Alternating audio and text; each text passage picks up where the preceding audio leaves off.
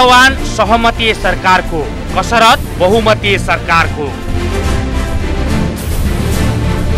प्रमुख दलले वर्लान्त सरकारमा सहकार्य अधिकतम सहमतिका लागि के गर्दैछन् प्रमुख दलहरू? आजको सन्दर्भ। नमस्कार। माउन्टेन टेलिभिजनको दैनिक प्रस्तुति आजको सन्दर्भमा यहाँहरूलाई स्वागत छ। दर्शकहरू नयाँ सरकार गठनको गृह कार्य सुरु भइरहेको छ र नेकपा माओवादी केन्द्र र नेपाली काङ्ग्रेस यति बेला सरकार गठनको प्रक्रियामा जुटिरहेका छन्। तर अझै पनि राष्ट्रपतिबाट आह्वान भइसकेपछि अझै पनि सहमतिमा सरकार गठन गर्ने जुन समय सीमा तोकिएको छ त्यसमा अझै पनि दलहरूले सहमतिमै सरकार गठन गर्ने प्रयास गरिरहेको बताइरहेका छन्। तर नेपाली काङ्ग्रेस र नेकपा माओवादी केन्द्रको बिचमा भएको सहमतिले के बुझिन्छ भने अहिले बन्ने सरकार पनि बहुमती नै भन्ने पक्का पक्की जस्तै देखिएको छ। त्यसैले सहमतिको कुरा एउटा चाहिँ अहिलेका लागि एउटा औपचारिकता मात्रै हो र यो एउटा चाहिँ यो समय यसलाई टार्ने एउटा प्रयास मात्रै हो भनेर बुझ्दा पनि हुन्छ भनेर विश्लेषण गर्नेहरूको सङ्ख्या पनि धेरै छ। त्यसैले अहिले जुन किसिमबाट नेपाली काङ्ग्रेस र नेकपा माओवादी केन्द्रले मन्त्रीहरू छान्ने र सरकार गठन गर्ने जुन प्रक्रिया सुरु गरेका छन् यो सन्दर्भमा उनीहरूले अन्य राजनीतिक दलहरूसँग भेटघाटलाई पनि तीव्र बनाइरहेको अवस्था छ। नेकपा एमालेलाई पनि सरकारमा सहभागी हुन र सहकार्य गरेर अगाडि बढ्नका लागि जिम्मेवारी दिने भनेर भनिएको छ र त्यसका लागि सम्पूर्ण वार्ता गर्ने जिम्मेवारी पुष्पकमल दाहाल प्रचण्डलाई तोकिएको छ र उहाँले त्यसका लागि आज नेकपा एमालेसँग छलफल पनि गर्ने भनेर जानकारी प्राप्त भएको छ। तर नेकपा एमाले र अन्य दलहरू जो अहिले सरकारमा बसिरहेका थिए ती दलहरूले भने अहिलेको सरकारमा सहभागी नहुने सङ्केत कता कता देखिएको छ र नेकपा एमाले प्रमुख प्रतिपक्षी दल बन्न सक्ने सम्भावना पनि देखेको छ अहिलेको पछिल्लो राजनीतिक घटनाक्रमले। यसलाई हेर्दा नेपाली काङ्ग्रेसका नेताहरूको भनाइलाई आधार मान्ने हो भने अहिलेको सरकार नेकपा माओवादी केन्द्र र नेपाली काङ्ग्रेसको बिचमा र अन्य केही दलहरूको बिचमा हुन सक्ने सम्भावना देखेको छ। यही विषयमा कुराकानी गर्नका लागि हाम्रा सहकर्मी रामेश्वर सापकोटा हामीसँग हुनुहुन्छ। रामेश्वर? राधेश्यामजी। के छ नयाँ सरकार गठनको विषयमा र अहिले जुन सहमतीय सरकार बनाउने भन्ने विषयमा अहिले दलहरूको बिचमा के कस्तो दौडधुप र कसरत भइरहेको छ। तपाईँलाई भएको पछिल्लो जानकारी के के छ? राधेश्यामजी पछिल्लो समय प्रधानमन्त्री केपी शर्मा ओलीले राजीनामा दिएपछि अहिले केपी शर्मा ओली सरकारको बहिर्गमन र नेकपा माओवादी केन्द्रका अध्यक्ष पुष्पकमल दाहाल प्रचण्डको नेतृत्वमा नयाँ सरकार बन्ने तयारी भइरहेको छ। र नयाँ सरकार बन्नको लागि राष्ट्रपति विद्यादेवी भण्डारीले सहमतीय सरकारको लागि चाहिँ एक हप्ताको समय सीमा दिएर दलहरूलाई सहमतिका लागि आह्वान गर्नुभएको छ र त्यस अनुरूप राजनीतिक दलहरू सहमतिका लागि प्रयासरत छन् र खास गरिकन नेपाली काङ्ग्रेस र नेकपा माओवादी केन्द्रबीच जुन सात बुधे सहमति भएको छ त्यो अनुरूप चाहिँ अबको सरकारको नौ महिना सरकारको नेतृत्व चाहिँ नेकपा माओवादी केन्द्रका अध्यक्ष पुष्पकमल दाहालले गर्नुहुनेछ र त्यही अनुरूप चाहिँ नेकपा माओवादी केन्द्रका अध्यक्ष पुष्पकमल दाहालले सहमतीय सरकारको लागि प्रयास गर्न सुरु गर्नुभएको छ तर राधेश्यामजी सहमतिको सरकार सहमतीय सरकार बन्न सक्ने सम्भावना चाहिँ निकै कम देखिएको छ किनकि यसभन्दा अगाडि पनि राजनीतिक दलहरूले सहमतीय सरकारका लागि पटक पटक प्रयास गरेका पनि हुन्। अ, रूपमा चाहिँ सरकार बन्न नसकेपछि स बहुमतीय रूपमा सरकार बनेका छन्। यद्यपि प्रचण्ड पुष्पकमल दाहालले सरकारको नेतृत्व गर्ने भनेपछि उहाँले आफ्नो तर्फबाट केही प्रयास गरिरहनु भएको छ जस्तो मधेसवादी दलहरूलाई सरकारमा ल्याउने विषय हो र अब सत्ताबाट बहिर्गमन हुनै लागेको नेकपा एमालेलाई पनि सरकारमा ल्याउने विषयमा चाहिँ उहाँले छलफल गर्ने भनेर भन्नुभएको छ जस्तै कि आज नेकपा एमालेका शीर्ष नेताहरू प्रधानमन्त्री केपी शर्मा ओलीसहित शीर्ष नेताहरूलाई भेटेर आफ्नो नेतृत्वमा बन्ने सरकारमा चाहिँ आउनलाई उहाँले आग्रह गर्ने गर्नुहुनेछ भनेर हामीले बुझेका छौँ र यसै अनुरूप अहिले राजनीतिक विकासक्रम अगाडि बढेको छ र खास गरी नेकपा एमाले अब सरकारमा जाला कि नजाला भन्ने कुरो त्यो पनि एउटा कौतूहलताको विषय बनेको छ र नेका नेपाली काङ्ग्रेस र माओवादी केन्द्रबीच जुन सहमति भएको छ त्यो सहमति अनुसार चाहिँ नौ महिना नेकपा माओवादी केन्द्रले सरकारको नेतृत्व गर्ने र नेपाली काङ्ग्रेसले त्यसपछि सरकारको नेतृत्व गर्ने भन्ने सहमति भएको छ। र यसै अनुरूप चाहिँ पहिलो अब पहिलो उसमा चाहिँ नेकपा माओवादी केन्द्रका अध्यक्ष अब सरकारको नेतृत्व गर्ने तयारी गरेका हुनाले त्यही अनुरूप चाहिँ सहमतिको प्रयास भइरहेको देखिएको छ।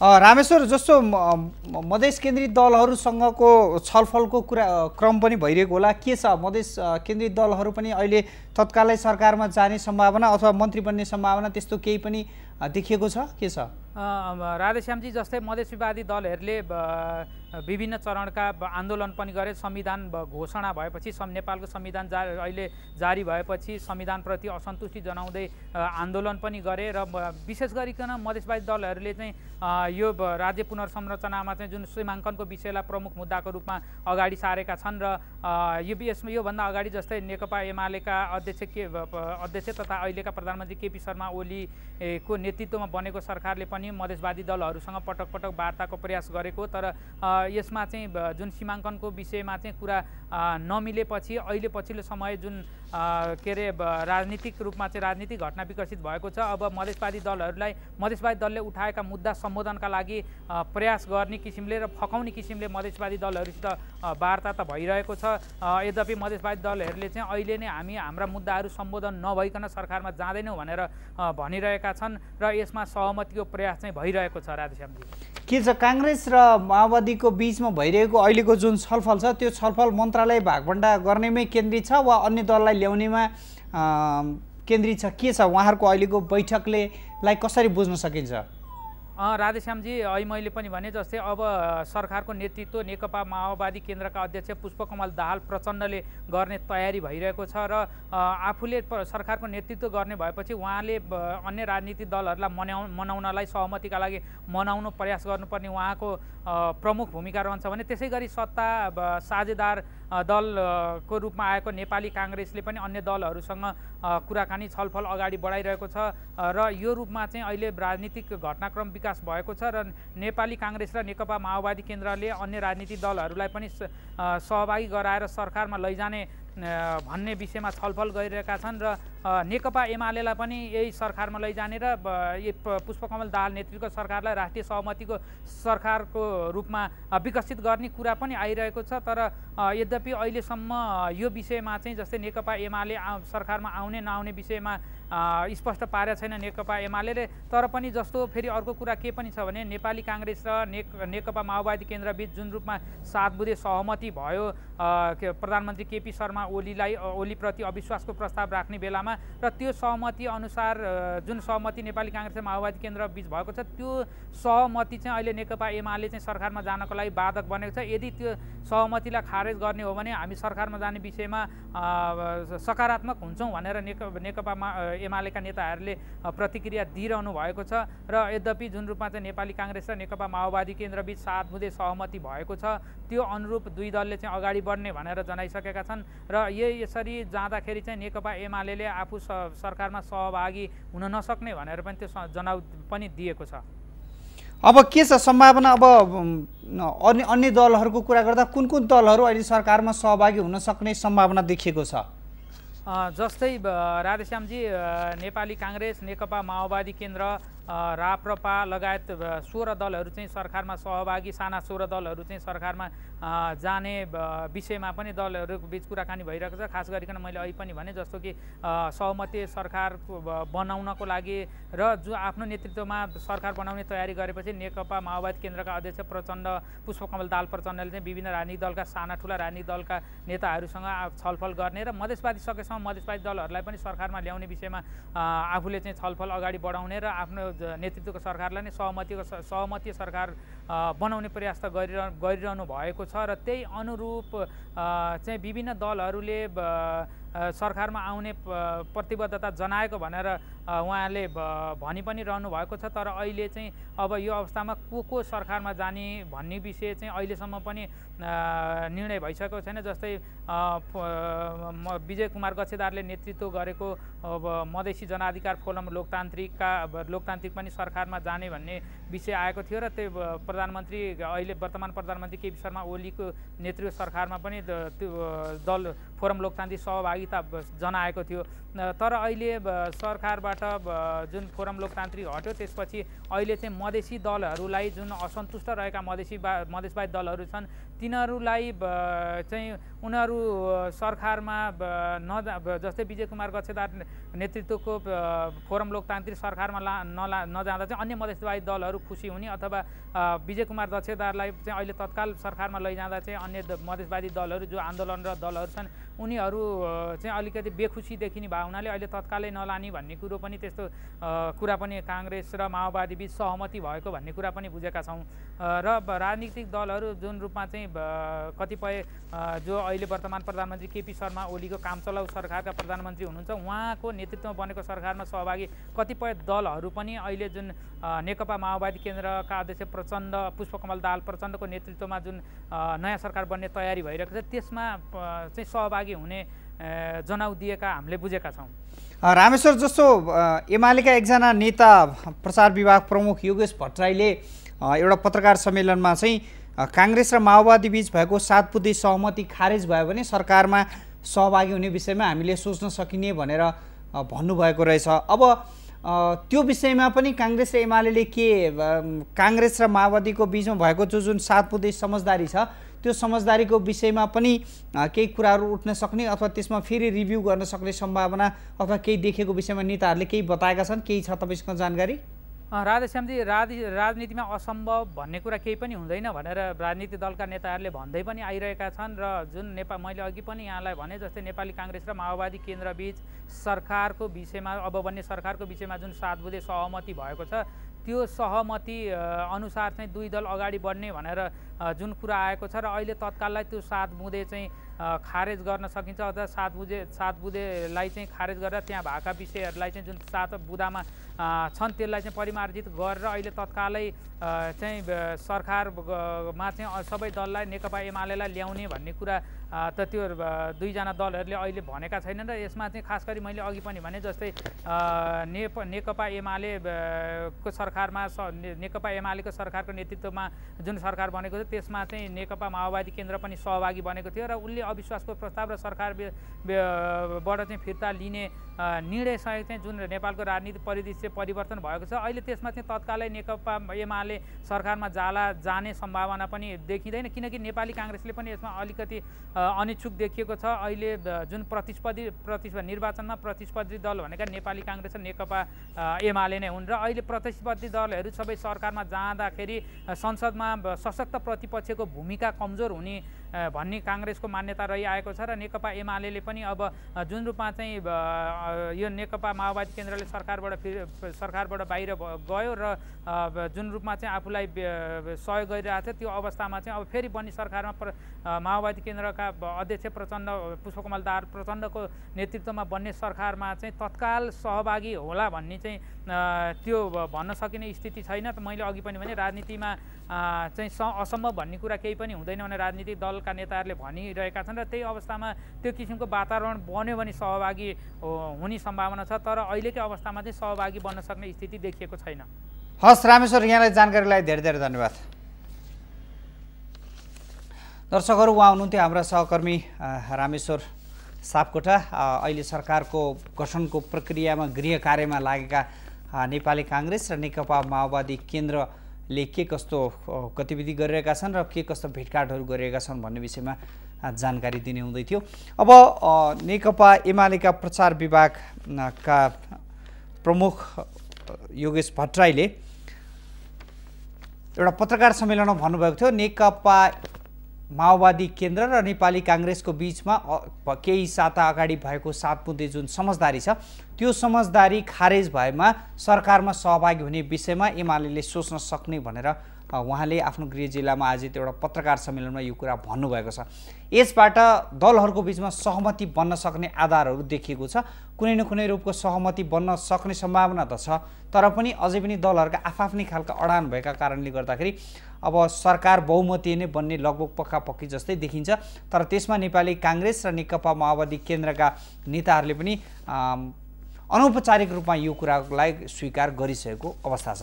त्यसैले अब बन्ने सरकार पक्कै पनि बहुमतीय नै हुने देखिन्छ र त्यसमा कुन कुन दल सहभागी हुन्छन् भन्ने कुरा मात्रै महत्त्वपूर्ण पाटो रह्यो। जस्तो राप्रपा सरकारमा सहभागी हुने वा नहुने राप्रपा नेपाल त्यस्तै गरेर मधेसी जनअधिकार फोरम लोकतान्त्रिक र अन्य मधेसवादी मधेस केन्द्रित दलहरू जुन छन् तिनीहरू को को सहभागी हुन्छन् भन्ने कुरा नै सबैभन्दा महत्त्वपूर्ण पाटो र विगतमा सरकारहरू गठन हुँदाखेरि उप प्रधानमन्त्रीको सङ्ख्या धेरै भयो मन्त्रालयहरू धेरैलाई विभाजन गरिएर धेरै मन्त्रीहरू राख्ने काम गरियो। भन्ने खालका जुन खालका आरोपहरू र जुन खालका चाहिँ कुराहरू उठेका थिए सर्वसाधारणबाट जनस्तरबाट त्यो क्रम अहिले नहोस् भन्ने पनि धेरै जनताको र जनस्तरबाट चाहना रहेको छ। अब आशा गरौँ अब यसतर्फ के हुन्छ उहाँहरूले अब के गर्नुहुन्छ त्यस विषयमा नि अब सरकार गठनको प्रक्रिया पुरा गरेपछि मात्रै यो कुरा देखिने हुन्छ। आज हामी यही विषयवस्तुमा केन्द्रित रहेर कुराकानी गरेका छौँ। सहमतीय सरकारको आह्वान गरिएको छ तर कसरत दलहरूले बहुमतीय सरकारको गरिरहेका छन्। आज हामी यही विषयवस्तुमा केन्द्रित रहेर आजको सन्दर्भ प्रस्तुत गरेका छौँ। दर्शकहरू अहिले एउटा छोटो ब्रेक लिने बेला भएको छ। ब्रेक पछाडि हामी पुनः आजको सन्दर्भलाई जोड्नेछौँ।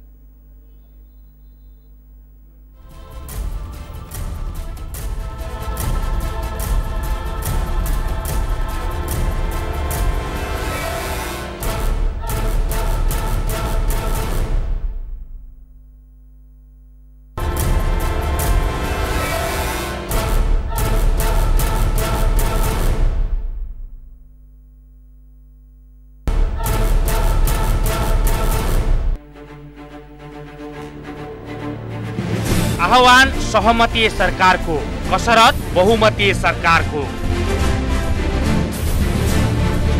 प्रमुख दलले वर्लान्त सरकारमा सहकार्य अधिकतम सहमतिका लागि के गर्दैछन् प्रमुख दलहरू? आजको सन्दर्भ। आदरणीय दर्शकहरू ब्रेकपछि यहाँहरूलाई पुनः कार्यक्रममा स्वागत छ। आजको सन्दर्भमा आज हामी कुराकानी गरिरहेका छौँ। सरकार गठनको कसरतमा तयारका दलहरूले सहमतिको प्रयासमा नयाँ सरकार गठन गर्ने कुरा गरिरहेका छन् तर उनीहरूको कसरत र उनीहरूको प्रयास हेर्ने हो र उनीहरूका अभिव्यक्तिहरू हेर्ने हो भने उनीहरूले बहुमतका लागि कसरत गरिरहेको देखिन्छ।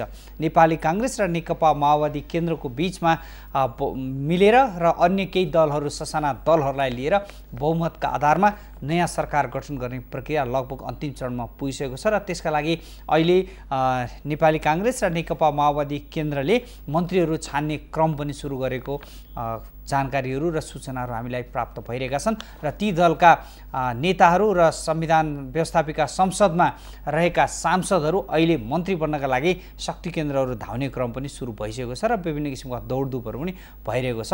हामीलाई यो विषयमा पनि जानकारीहरू प्राप्त भइरहेका छन् र केही सांसदहरूले त आफूले पाउने मन्त्रालयको टुङ्गो लगाएको भनेर जानकारी समेत गराउँदै हिँडेको अवस्था छ। तर प्रयास भने अझै पनि सहमतीय सरकारको भनेर भनिराखिएको छ र यो विषयमा अहिले नेकपा माओवादी केन्द्र र नेकपा एमालेको बिचमा पनि भेटघाट हुने र यो सरकार गठनको प्रक्रियामा छलफल हुने भनेर जानकारी प्राप्त भएको छ र आज नेकपा माओवादी केन्द्रका अध्यक्ष प्रचण्ड र नेकपा एमालेका नेताहरूको बिचमा छलफल हुने भएको छ र यो छलफलबाट पनि अब केही निष्कर्ष निस्कन सक्ने सम्भावना छ। नभए भने पनि बहुमतका आधारमा भए पनि अर्को सरकार गठन हुने र प्रतिपक्षमै बस्ने पार्टीले भए पनि अब बन्ने अब संविधान कार्यान्वयन र अब हुने स्थानीय निर्वाचन प्रादेशिक निर्वाचन लगायतका विषयमा अब दलहरूको बिचमा एक खालको सहमति बन्न सक्ने वा अन्य खालका सहमतिहरू हुन सक्ने सम्भावना पनि त्यत्तिकै छ। सरकारमा नगएर पनि अन्य खालका सहमतिहरू बनाएर अगाडि बढ्न सक्ने सम्भावना देखिएको छ। तर अब के हुन्छ भन्ने विषयमा दलहरूले अझै पनि टुङ्गो लाउन सकेको स्थिति छैन र नयाँ सरकार गठनको प्रक्रियामा दलहरू रहेका छन्। यही सन्दर्भमा यही विषयवस्तुमा केन्द्रित रहेर हाम्रा सहकर्मीले एउटा रिपोर्ट तयार गर्नुभएको थियो। त्यो रिपोर्ट अब हामी यहाँहरूलाई प्रस्तुत गर्छौँ। त्यस पछाडि पुनः आजको सन्दर्भलाई हामी जोड्दैछौँ।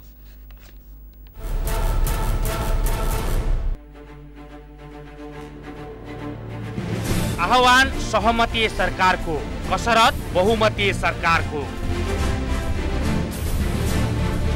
प्रमुख दलले वर्लान्त सरकारमा सहकार्य अधिकतम सहमतिका लागि के गर्दैछन् प्रमुख दलहरू? आजको सन्दर्भ राष्ट्रपति विद्यादेवी भण्डारीले सहमति सरकार गठनका लागि सात दिनको समय दिए पनि सो समय सीमाभित्र राजनैतिक दलहरू भने बहुमतीय सरकार गठनकै गृह कार्यमा लागेको पाइएको छ। नयाँ सरकार गठनमा लागेका नेकपा माओवादी केन्द्र र नेपाली काङ्ग्रेसको गठबन्धनले सहमतीय भन्ने तर बहुमतीय सरकार गठन गर्ने निर्णयसहित सो गृह कार्य अघि बढाएका हुन्। प्रधानमन्त्री केपी शर्मा ओलीले राजीनामा दिएपछि राष्ट्रपति भण्डारीले सोह्र साउनसम्म सहमतीय सरकार गठन गर्न सात दिनको समय दिएकी छन्। राष्ट्रपतिले दिएको समय सकिन अब चार दिन मात्र बाँकी छ। तर दलहरूबीच सहमतीय सरकार गठन गर्ने विषयमा सामान्य छलफल समेत भएको छैन। उल्टै एक अर्कामाथि आरोपको वर्षा चलिरहेको छ। नयाँ सरकार बनाउन जुटेका दलहरूले एमालेलाई मधेसी मोर्चाको माग सुन्नै नचाहेको भन्दै आफूतिर नतान्ने प्रयास गरिरहेका छन् भने एमाले विदेशीको इसारामा सरकार बन्न लागेको बताइरहेको छ। सहमतीय सरकारका लागि मुख्य गरी काङ्ग्रेस एमाले माओवादी केन्द्र राप्रपा नेपाल सङ्घीय समाजवादी फोरम फोरम लोकतान्त्रिक राप्रपा लगायतमा छलफल हुनुपर्छ। यति धेरै दलहरूबीच छलफल हुन नसके कम्तीमा तीन ठूला दल काङ्ग्रेस एमाले र माओवादीसँग हुनुपर्छ। तर काङ्ग्रेस र माओवादीका नेताहरू अहिले बहुमतीय सरकार मात्रै गठन गर्ने गरी अघि बढेका छन्। उनीहरूले सहमतीय बिथोल्नेतिर ध्यान दिई जसरी हुन्छ एमालेलाई चिढ्याउने रणनीति समेत अख्तियार गरिरहेका छन्। काङ्ग्रेस माओवादी सरकार गठनका साथै आफूले पाउने मन्त्रालयको टुङ्गो लगाउनका लागि आन्तरिक गृह कार्यमा जुटेका छन्। मन्त्रालयको टुङ्गो लगाउनका लागि काङ्ग्रेसबाट विमलेन्द्र निधि र रमेश लेखक तथा माओवादी केन्द्रबाट कृष्ण बहादुर मोहरा र वर्षमान पुनबीच अनौपचारिक छलफल भइरहेको छ। कार्यदलमा रहेका ती दलहरूले सहमतीय सरकार गठन हुनै नसक्ने निष्कर्ष निकालिसकेका छन्। दुवै पक्षले अन्तिम समयमा ओली सरकार छोडेर गठबन्धनतिर लागेको मधेसी जनअधिकार फोरम लोकतान्त्रिकलाई समेत सरकारमा सहभागी नगराउने निर्णय गरिसकेका छन्। सरकार गठनका लागि हुने सो छलफलमा यदा कदा काङ्ग्रेस सभापति शेरबहादुर देउवा र माओवादी केन्द्रका अध्यक्ष पुष्पकमल दाहाल उपस्थित हुने गरेका छन्। आवश्यक परे दोस्रो विपरीयता केही शीर्ष नेताहरूको पनि सहभागी हुने गरेको स्रोतले बतायो। काङ्ग्रेस र माओवादी केन्द्रबीच भएको सहमति बमोजिम तेह्र मन्त्रालय काङ्ग्रेसलाई र नौ मन्त्रालय माओवादी केन्द्रले लिने सहमति बनेको छ। बाँकी आठ मन्त्रालय मधेसवादी र अन्य साना दलहरूलाई दिने सहमति भएको छ। कुन मन्त्रालय कसले पाउने भन्ने विषयमा भने अझै अन्तिम टुङ्गो लागिसकेको छैन। तर काङ्ग्रेसले हिजो एमाले माओवादी केन्द्रको गठबन्धन हुँदा माओवादीले दिएका मन्त्रालयमा केही थप गरेर दिने प्रस्ताव गरेको छ। यसबारे माओवादीले सहमति दिइसकेको छैन। काङ्ग्रेसले गृह परराष्ट्र भौतिक योजना ऊर्जा स्थानीय विकास सामान्य प्रशासन कृषि खेलकुद सहरी विकास मन्त्रालय दावी गरेको छ। अरू मन्त्रालय आपसी सहमतिमा माग्ने जनाएको छ। प्रधानमन्त्री सहित सरकारको नेतृत्व गर्न लागेको माओवादी केन्द्रले भने भौतिक काङ्ग्रेसले लिएपछि स्थानीय विकास माओवादीलाई दिनुपर्ने अडान राखेको छ। परराष्ट्र र सामान्य प्रशासन मन्त्रालय पनि आफूहरूले नै पाउनुपर्ने माओवादीले अडान गरेको छ। दुवै पक्षबीच सहमतीय सरकार गठनको समय सीमा गुजार्न सोह्र साउनसम्ममा दुई दलबीच मन्त्रालयको भागभण्डा सकिने गरी छलफल भइरहेको छ। नेकपा माओवादी केन्द्रको केन्द्रीय समिति बैठकले सहमतिको सरकार गठनको जिम्मेवारी अध्यक्ष दाहाललाई दिएको छ। यता एमाले सहमतीय सरकार गठनमा सहयोग गर्नका लागि काङ्ग्रेस र माओवादी केन्द्रसँगको सात बुधे सहमति खारेज भई नयाँ सहमति भए सोच्न सकिने बताएको छ। एमाले सचिव तथा प्रचार विभाग प्रमुख योगेश भट्टराईले आफ्नो गृह जिल्लामा बुधबार आयोजित पत्रकार सम्मेलनमा काङ्ग्रेस माओवादी बीचको सात बुधे सहमति खारेज भए सरकारको विषयमा सोच्न सक्ने प्रष्ट पारेका छन्। सरकार बनाउन लागेका दल भने सहमतीय सरकार बनाउनै नचाहेको देखिएको छ।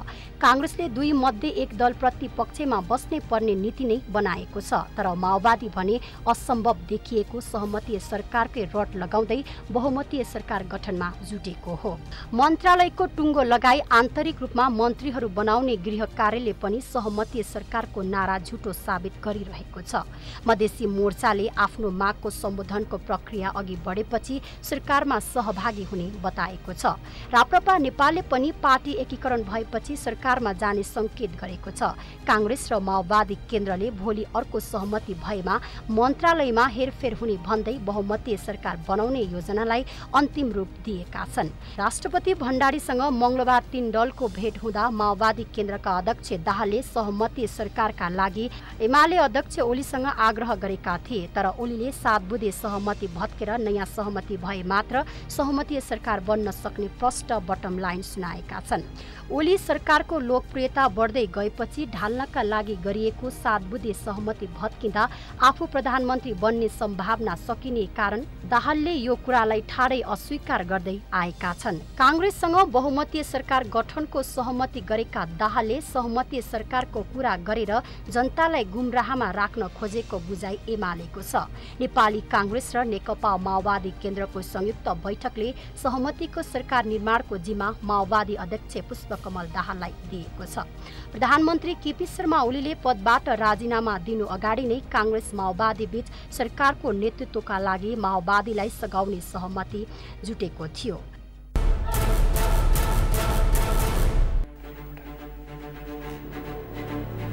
आह्वान सहमति सरकारको कसरत बहुमतीय सरकारको। एकछिन म बोल्छु अनि फेरि प्याकेज आ प्रमुख दलले वर्लान्त सरकारमा सहकार्य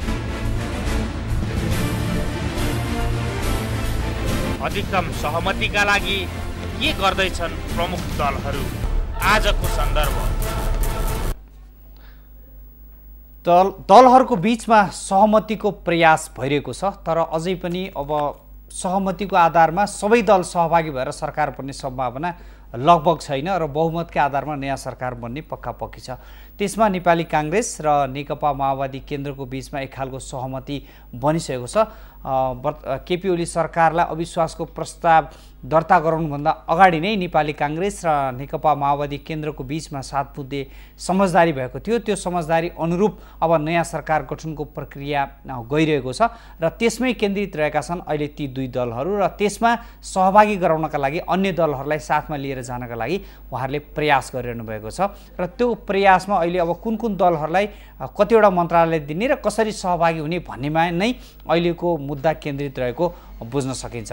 अब अब अहिलेको सन्दर्भमा आजको सन्दर्भमा आज हामी यही विषयवस्तुमा केन्द्रित रहेर कुराकानी पनि गर्दैछौँ र छलफल पनि प्रस्तुत गर्दैछौँ। अहिले एउटा फेरि अर्को एउटा रिपोर्ट अब हामी प्रस्तुत गर्दैछौँ र रिपोर्ट पछाडि फेरि आजको सन्दर्भलाई जोड्दैछौँ।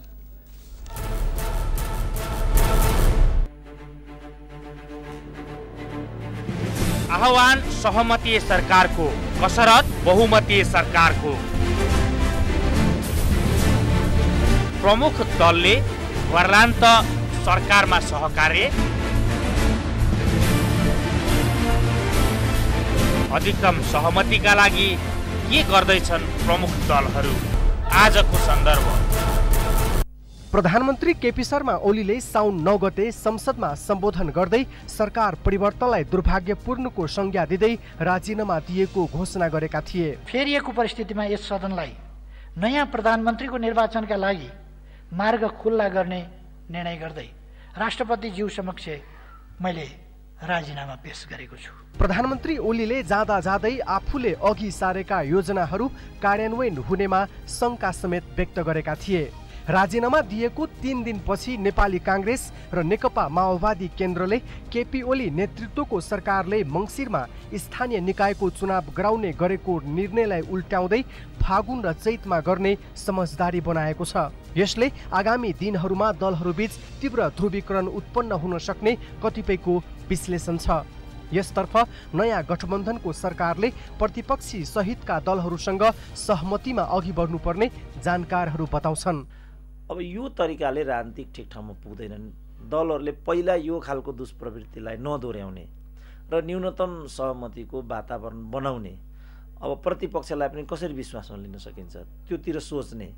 अब सरकार बनाउँदाखेरि पनि भर्सक प्रतिपक्षको भावनालाई पनि समेटेर सानो चुस्तो दुरुस्त सरकार जहाँ चाहिँ त्यो खालको एउटा सरकार बनाउने बिगार्ने मन्त्री बनाउने।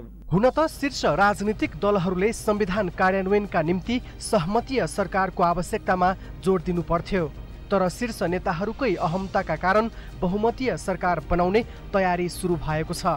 दलहरू बीचको ध्रुवीकरणले संविधान कार्यान्वयनमा पनि असर पर्न सक्ने ठाउँ रहेको विश्लेषक केसीको भनाइ छ।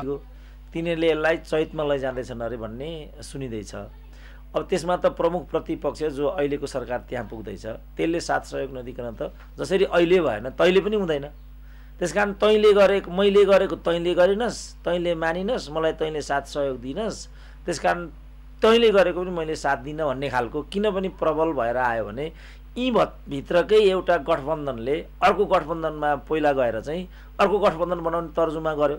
भनेपछि त विद्वेष त झन् बढ्ने भयो नि त। राजनीतिक विश्लेषक केसीकै कुरामा निलाम्बर आचार्यले पनि सहमति जनाए तर उनले मिति हेरफेरले भने खासै फरक नपर्ने बताए। पर्छ। मङ्सिरमा हुने भनिएको सरकार परिवर्तन भयो र तत्पश्चात चाहिँ आयोगको पनि चाहिने प्रतिवेदन आउला अथवा के कसरी गर्ने विचार गरेका छ चैतमा चाहिने निर्वाचन गर्यो भनेपछि पनि त्यो मङ्सिरकै विस्तारित रूप हो कुनै चाहिने त्यसले ठुलै परिवर्तन हलचल। मङ्सिरमा नभएर चैतमा हुन्छ भन्दैमा त्यसले ढिला हुन्छ भन्ने मलाई लाग्दैन। चैतमा गर्न सक्यो भनेपछि पनि ठिक छ। मङ्सिरमा भए भए राम्रै हुन्थ्यो। प्रधानमन्त्री केपी शर्मा ओलीले अघि बढाएका महत्त्वपूर्ण योजना पुनर्निर्माणका कार्य संविधान कार्यान्वयन र बाह्य सम्बन्धलाई सन्तुलनमा राखेर हिँड्न सक्नुपर्ने जानकारहरूले सुझाव दिएका छन्। नयाँ बन्ने गठबन्धनको सरकारले पनि यिनै एजेन्डाहरूलाई प्राथमिकतामा राखेर अघि बढ्नुपर्ने आवश्यकता छ।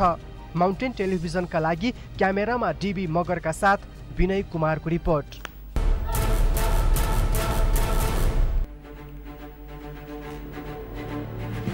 आह्वान सहमतीय सरकारको कसरत बहुमतीय सरकारको।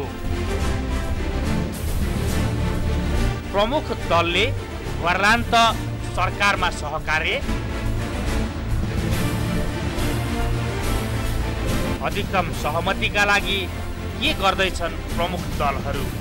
आजको सन्दर्भ। ब्रेकपछि यहाँलाई यो रिपोर्ट पछाडि यहाँहरूलाई पुनः स्वागत छ। आज हामी अब यही विषयवस्तुमा केन्द्रित रहेर कुराकानी गर्दैछौँ। सरकार बहुमतीयको हुन्छ वा सहमतिको प्रयास अझै पनि जारी छ के हुन्छ र मन्त्रालयको भागभन्डा र कुन कुन दलहरू सहभागी हुँदैछन् र सरकार अब कसरी अगाडि बढ्छ भन्ने विषयवस्तुमा केन्द्रित रहेर हामी कुराकानी पनि गर्छौँ कुराकानी गर्नका लागि अहिले हाम्रो स्टुडियोमा हुनुहुन्छ नेपाली काङ्ग्रेसका नेता रामहरि खतेडा रामहरिजी यहाँलाई कार्यक्रममा स्वागत छ। धेरै धेरै धन्यवाद। के छ अब मन्त्री हुने दौडधुपमा लागिरहनु भएको छ होला? के छ अवस्था? अब त्यो बाँकी नै छ तपाईँले अघि पृष्ठभूमिमै भन्नुभयो। हामी सकभर सहमति सरकारको पक्षपाती हौँ। व्यक्तिगत रूपमा भन्नुहुन्छ भने म चाहिँ व्यक्तिगत रूपमा सहमति सरकारको पक्षपाती हुँ। मुलुकमा हामीले सत्तरी वर्षपछि जनताबाट निर्वाचित जनप्रतिनिधिबाट संविधान जारी गरेका छौँ। यो संविधान काङ्ग्रेसको मात्रै एमालेको मात्रै माओवादीको मात्रै र मधेसवादीको मात्रै होइन। सारा नेपाली जनताको हो। सबै जात वर्ग धर्म सम्प्रदायको हो। हिमालको हो पहाडको हो र तराईको हो। त्यसैले यो अर्को चुनाव नहुन्जेलसम्म हामी सहमतिमा जाउँ भन्ने हाम्रो चाहना थियो। भलै भन्नेहरूले काङ्ग्रेसले त्यो सहमति तोडो भनेर पहिले नै भन्ने पनि गरेका छन्। संविधान जारी भएपछि हाम्रो धारणा के थियो भने प्रधानमन्त्री केपी ओलीलाई नै दिने समस्या छैन।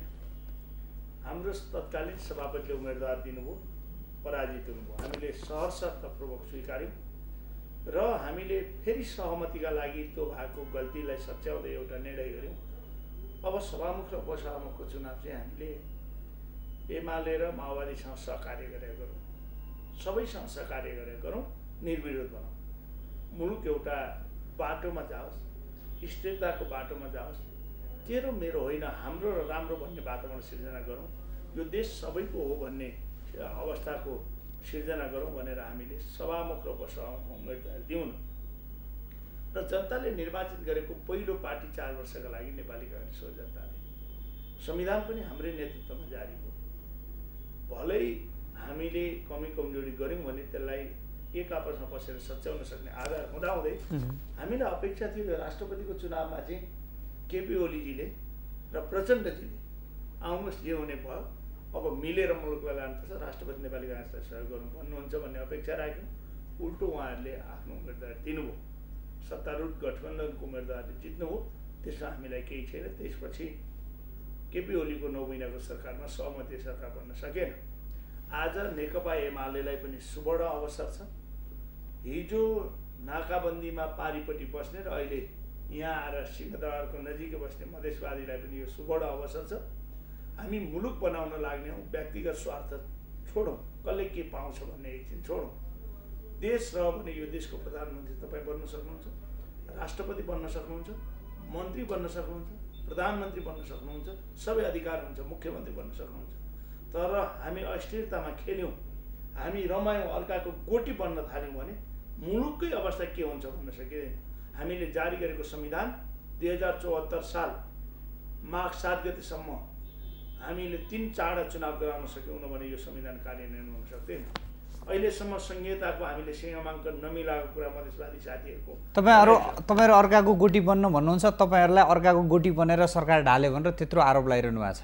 म त्यो आरोप लगाउने साथीहरूलाई विनम्रतापूर्वक अनुरोध गर्न चाहन्छु कुन चाहिँ गोटी कुन चाहिँ स्टागर कसले हाल्यो मलाई थाहा छैन तर म अनुरोध गर्न चाहन्छु हिजो प्रचण्डजीले केपी ओलीलाई भोट हाल्दा उहाँ राष्ट्रवादी हुने प्रचण्डजीले शेरबहादुरलाई भोट हाल्दा त्यो अराष्ट्रवादी हुने भोट हो। त्यही मत त्यस्तो हो। त्यही भोट विजय गच्छेदारले हिजो उहाँलाई हाल्दा त्यो राष्ट्रवादीको विजय गच्छेदार हुने। त्यही भोट अहिले प्रचण्डलाई हाल्दा अराष्ट्रवादी हुने। यस्ता कुरा जनताले पत्याउँदैन यो कुरा गर्नु हुँदैन। नेपालमा बस्ने नेपालीले नेपालका लागि सोच्ने हो।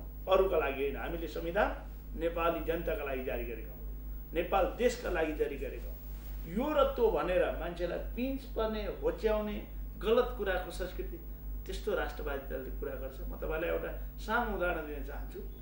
नेपाली काङ्ग्रेस पार्टीको नाउँ नेपाली काङ्ग्रेस भने हामीले जुन पार्टीले आफ्नो नाउँको पछाडि मार्क्स र लेनिनको नाउँ राख्छ कुन राष्ट्रवाद? हो आफ्नो पार्टी नेपाल भनेर राख्न नसक्ने विदेशीका नेताहरूको फोटो दारी भएको फोटो बोकेर हिँड्ने तिनीहरूको फोटोमा पार्ट पूजा गर्ने तिनीहरूको फोटो पार्टी अफिसमा झुन्ड्याउने अनि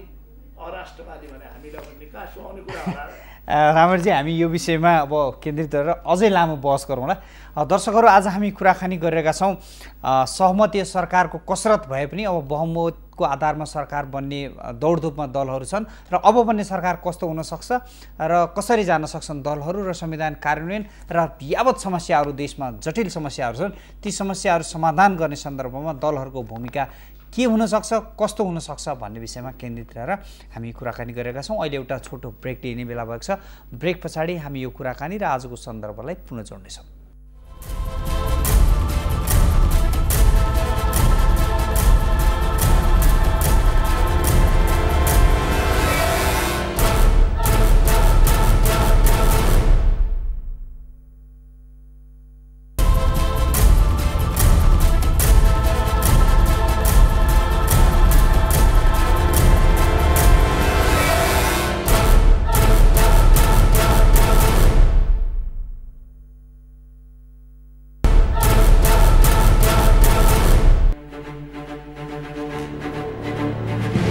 आह्वान सहमतीय सरकारको कसरत बहुमतीय सरकारको।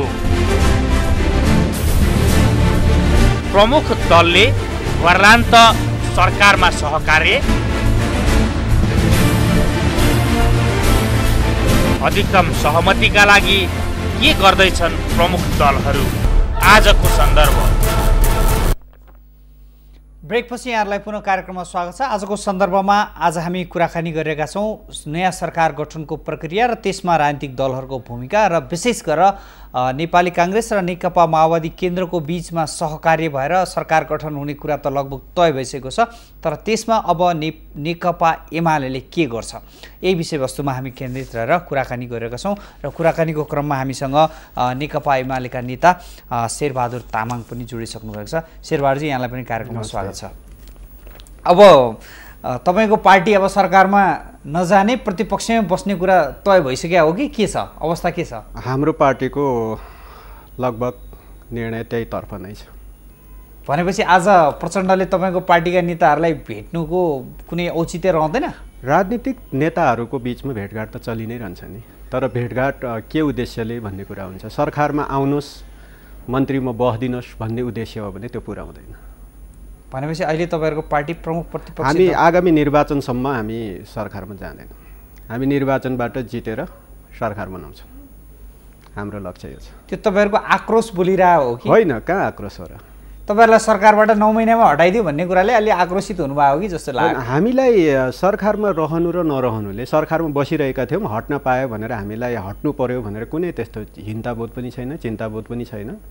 हामी नेपाली जनताको काम गरी बस्छौँ प्रतिपक्षमा बसेर गर्छौँ सत्तामा बसेर पनि गर्छौँ र अहिले खास गरी हामी जुन ढङ्गले सर सरकारमा बसेर सरकारको नेतृत्व गरेर काम गरिरहेका थियौँ र यति बेलै यो सरकारलाई यो तहमा पुर्याउनु हुन्न थियो भन्ने चाहिँ हाम्रो कुरा हो।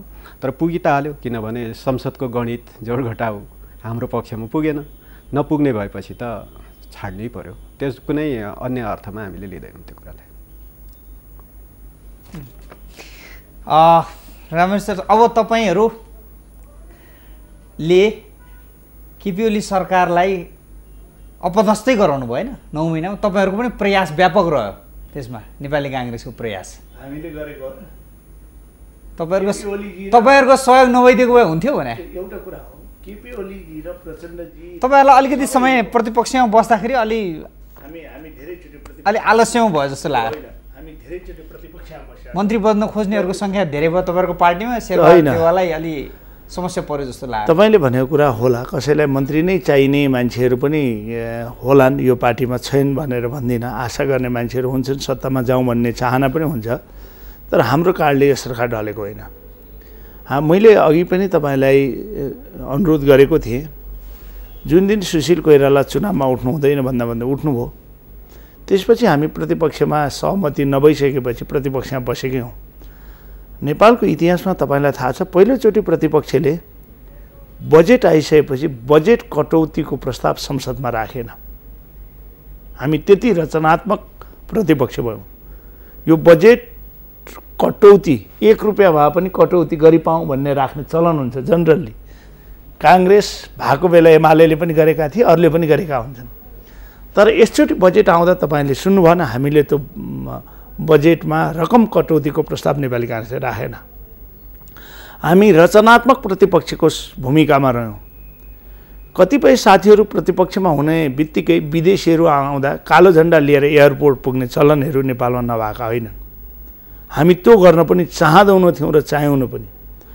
कस्तो हुँदो रहेछ प्रतिपक्ष?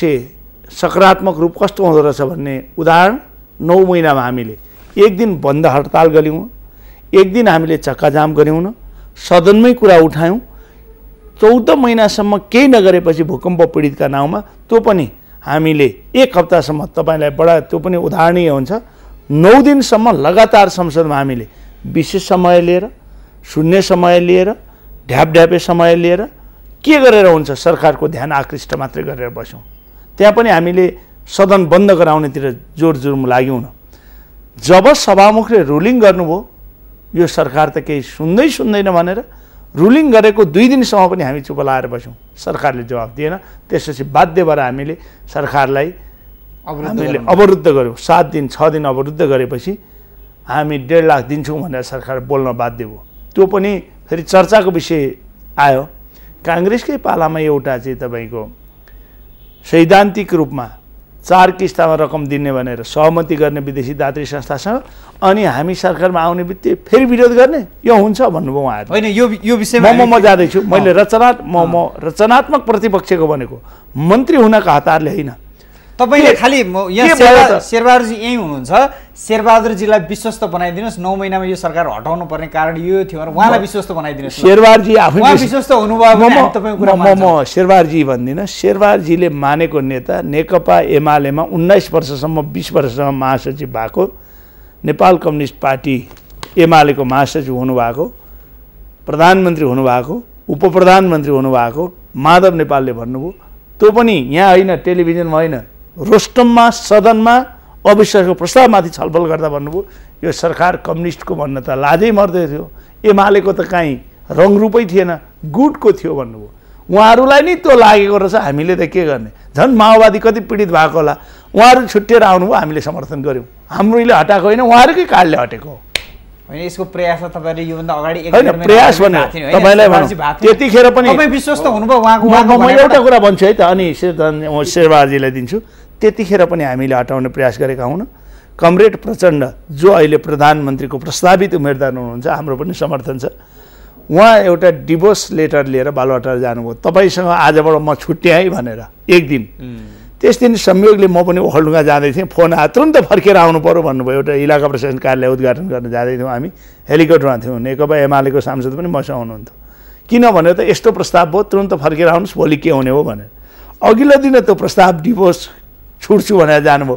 भोलिपल्ट त्यहीँ बिहा गरेर आउनुभयो फेरि प्रचण्डजी होइन तपाईँलाई छोड्नु सक्दिनँ है म तपाईँसँगै बस्छु अब भने आउनुभयो। उहाँहरूको के आन्तरिक बेमेल भयो थाहा छैन। त्यसपछिबाट हेर्नुहोस् राज्यमा राज्यमा कमजोर भयो बहुमत छैन भने त हामी प्रतिपक्षमा एउटालाई समर्थन गर्ने पर छोडेर आएपछि प्रचण्डलाई समर्थन गरेको। यो बिचमा जतिसुकै तपाईँहरूले भने पनि सरकारलाई यो सरकारलाई असफल यो सरकार हुँदैन भनेर चलखेल गर्नेमा त काङ्ग्रेस पनि थियो तपाईँलाई अनुरोध गरौँ। त्यो थिएन चुप्पो लागेर दुई बसेको तिनवटा कुरा भन्छु। अब तपाईँले फेरि पनि भन्नुभयो। नौ महिनासम्म मैले संसदमा पनि भने हामीले घर घरमा बिजुलीका ग्यासहरू बिजुली को पायौँ कहिले पनि लोड सेडिङ नहुने बोलीबाट। हामीले घर घरमा ग्यासका पाइप पायौँ ग्यासका लाइनहरू पायौँ बोलीबाट। पानी जहाज र रेलहरू पायौँ बोलीबाट। हामीले यो भइसकेपछि सरकार प्रमुख बोल्ने मात्रै काम गर्नु हुँदो रहेछ फेरि म माधव नेपालकै उदाहरण दिन चाहन्छु। एक ठाउँमा गएर के भनिदिनु भयो भने अब यो सरकारले सगरमाथामा जानका लागि केबुल कार मेची महाकाली जानका लागि एउटा पुल निर्माण गर्छु भनेर बोल्न मागी छ अरू सबै सको भन्नुभयो। बोल्ने मात्रै काम हो जनतामा वितृष्णता उत्पन्न हुने भयो।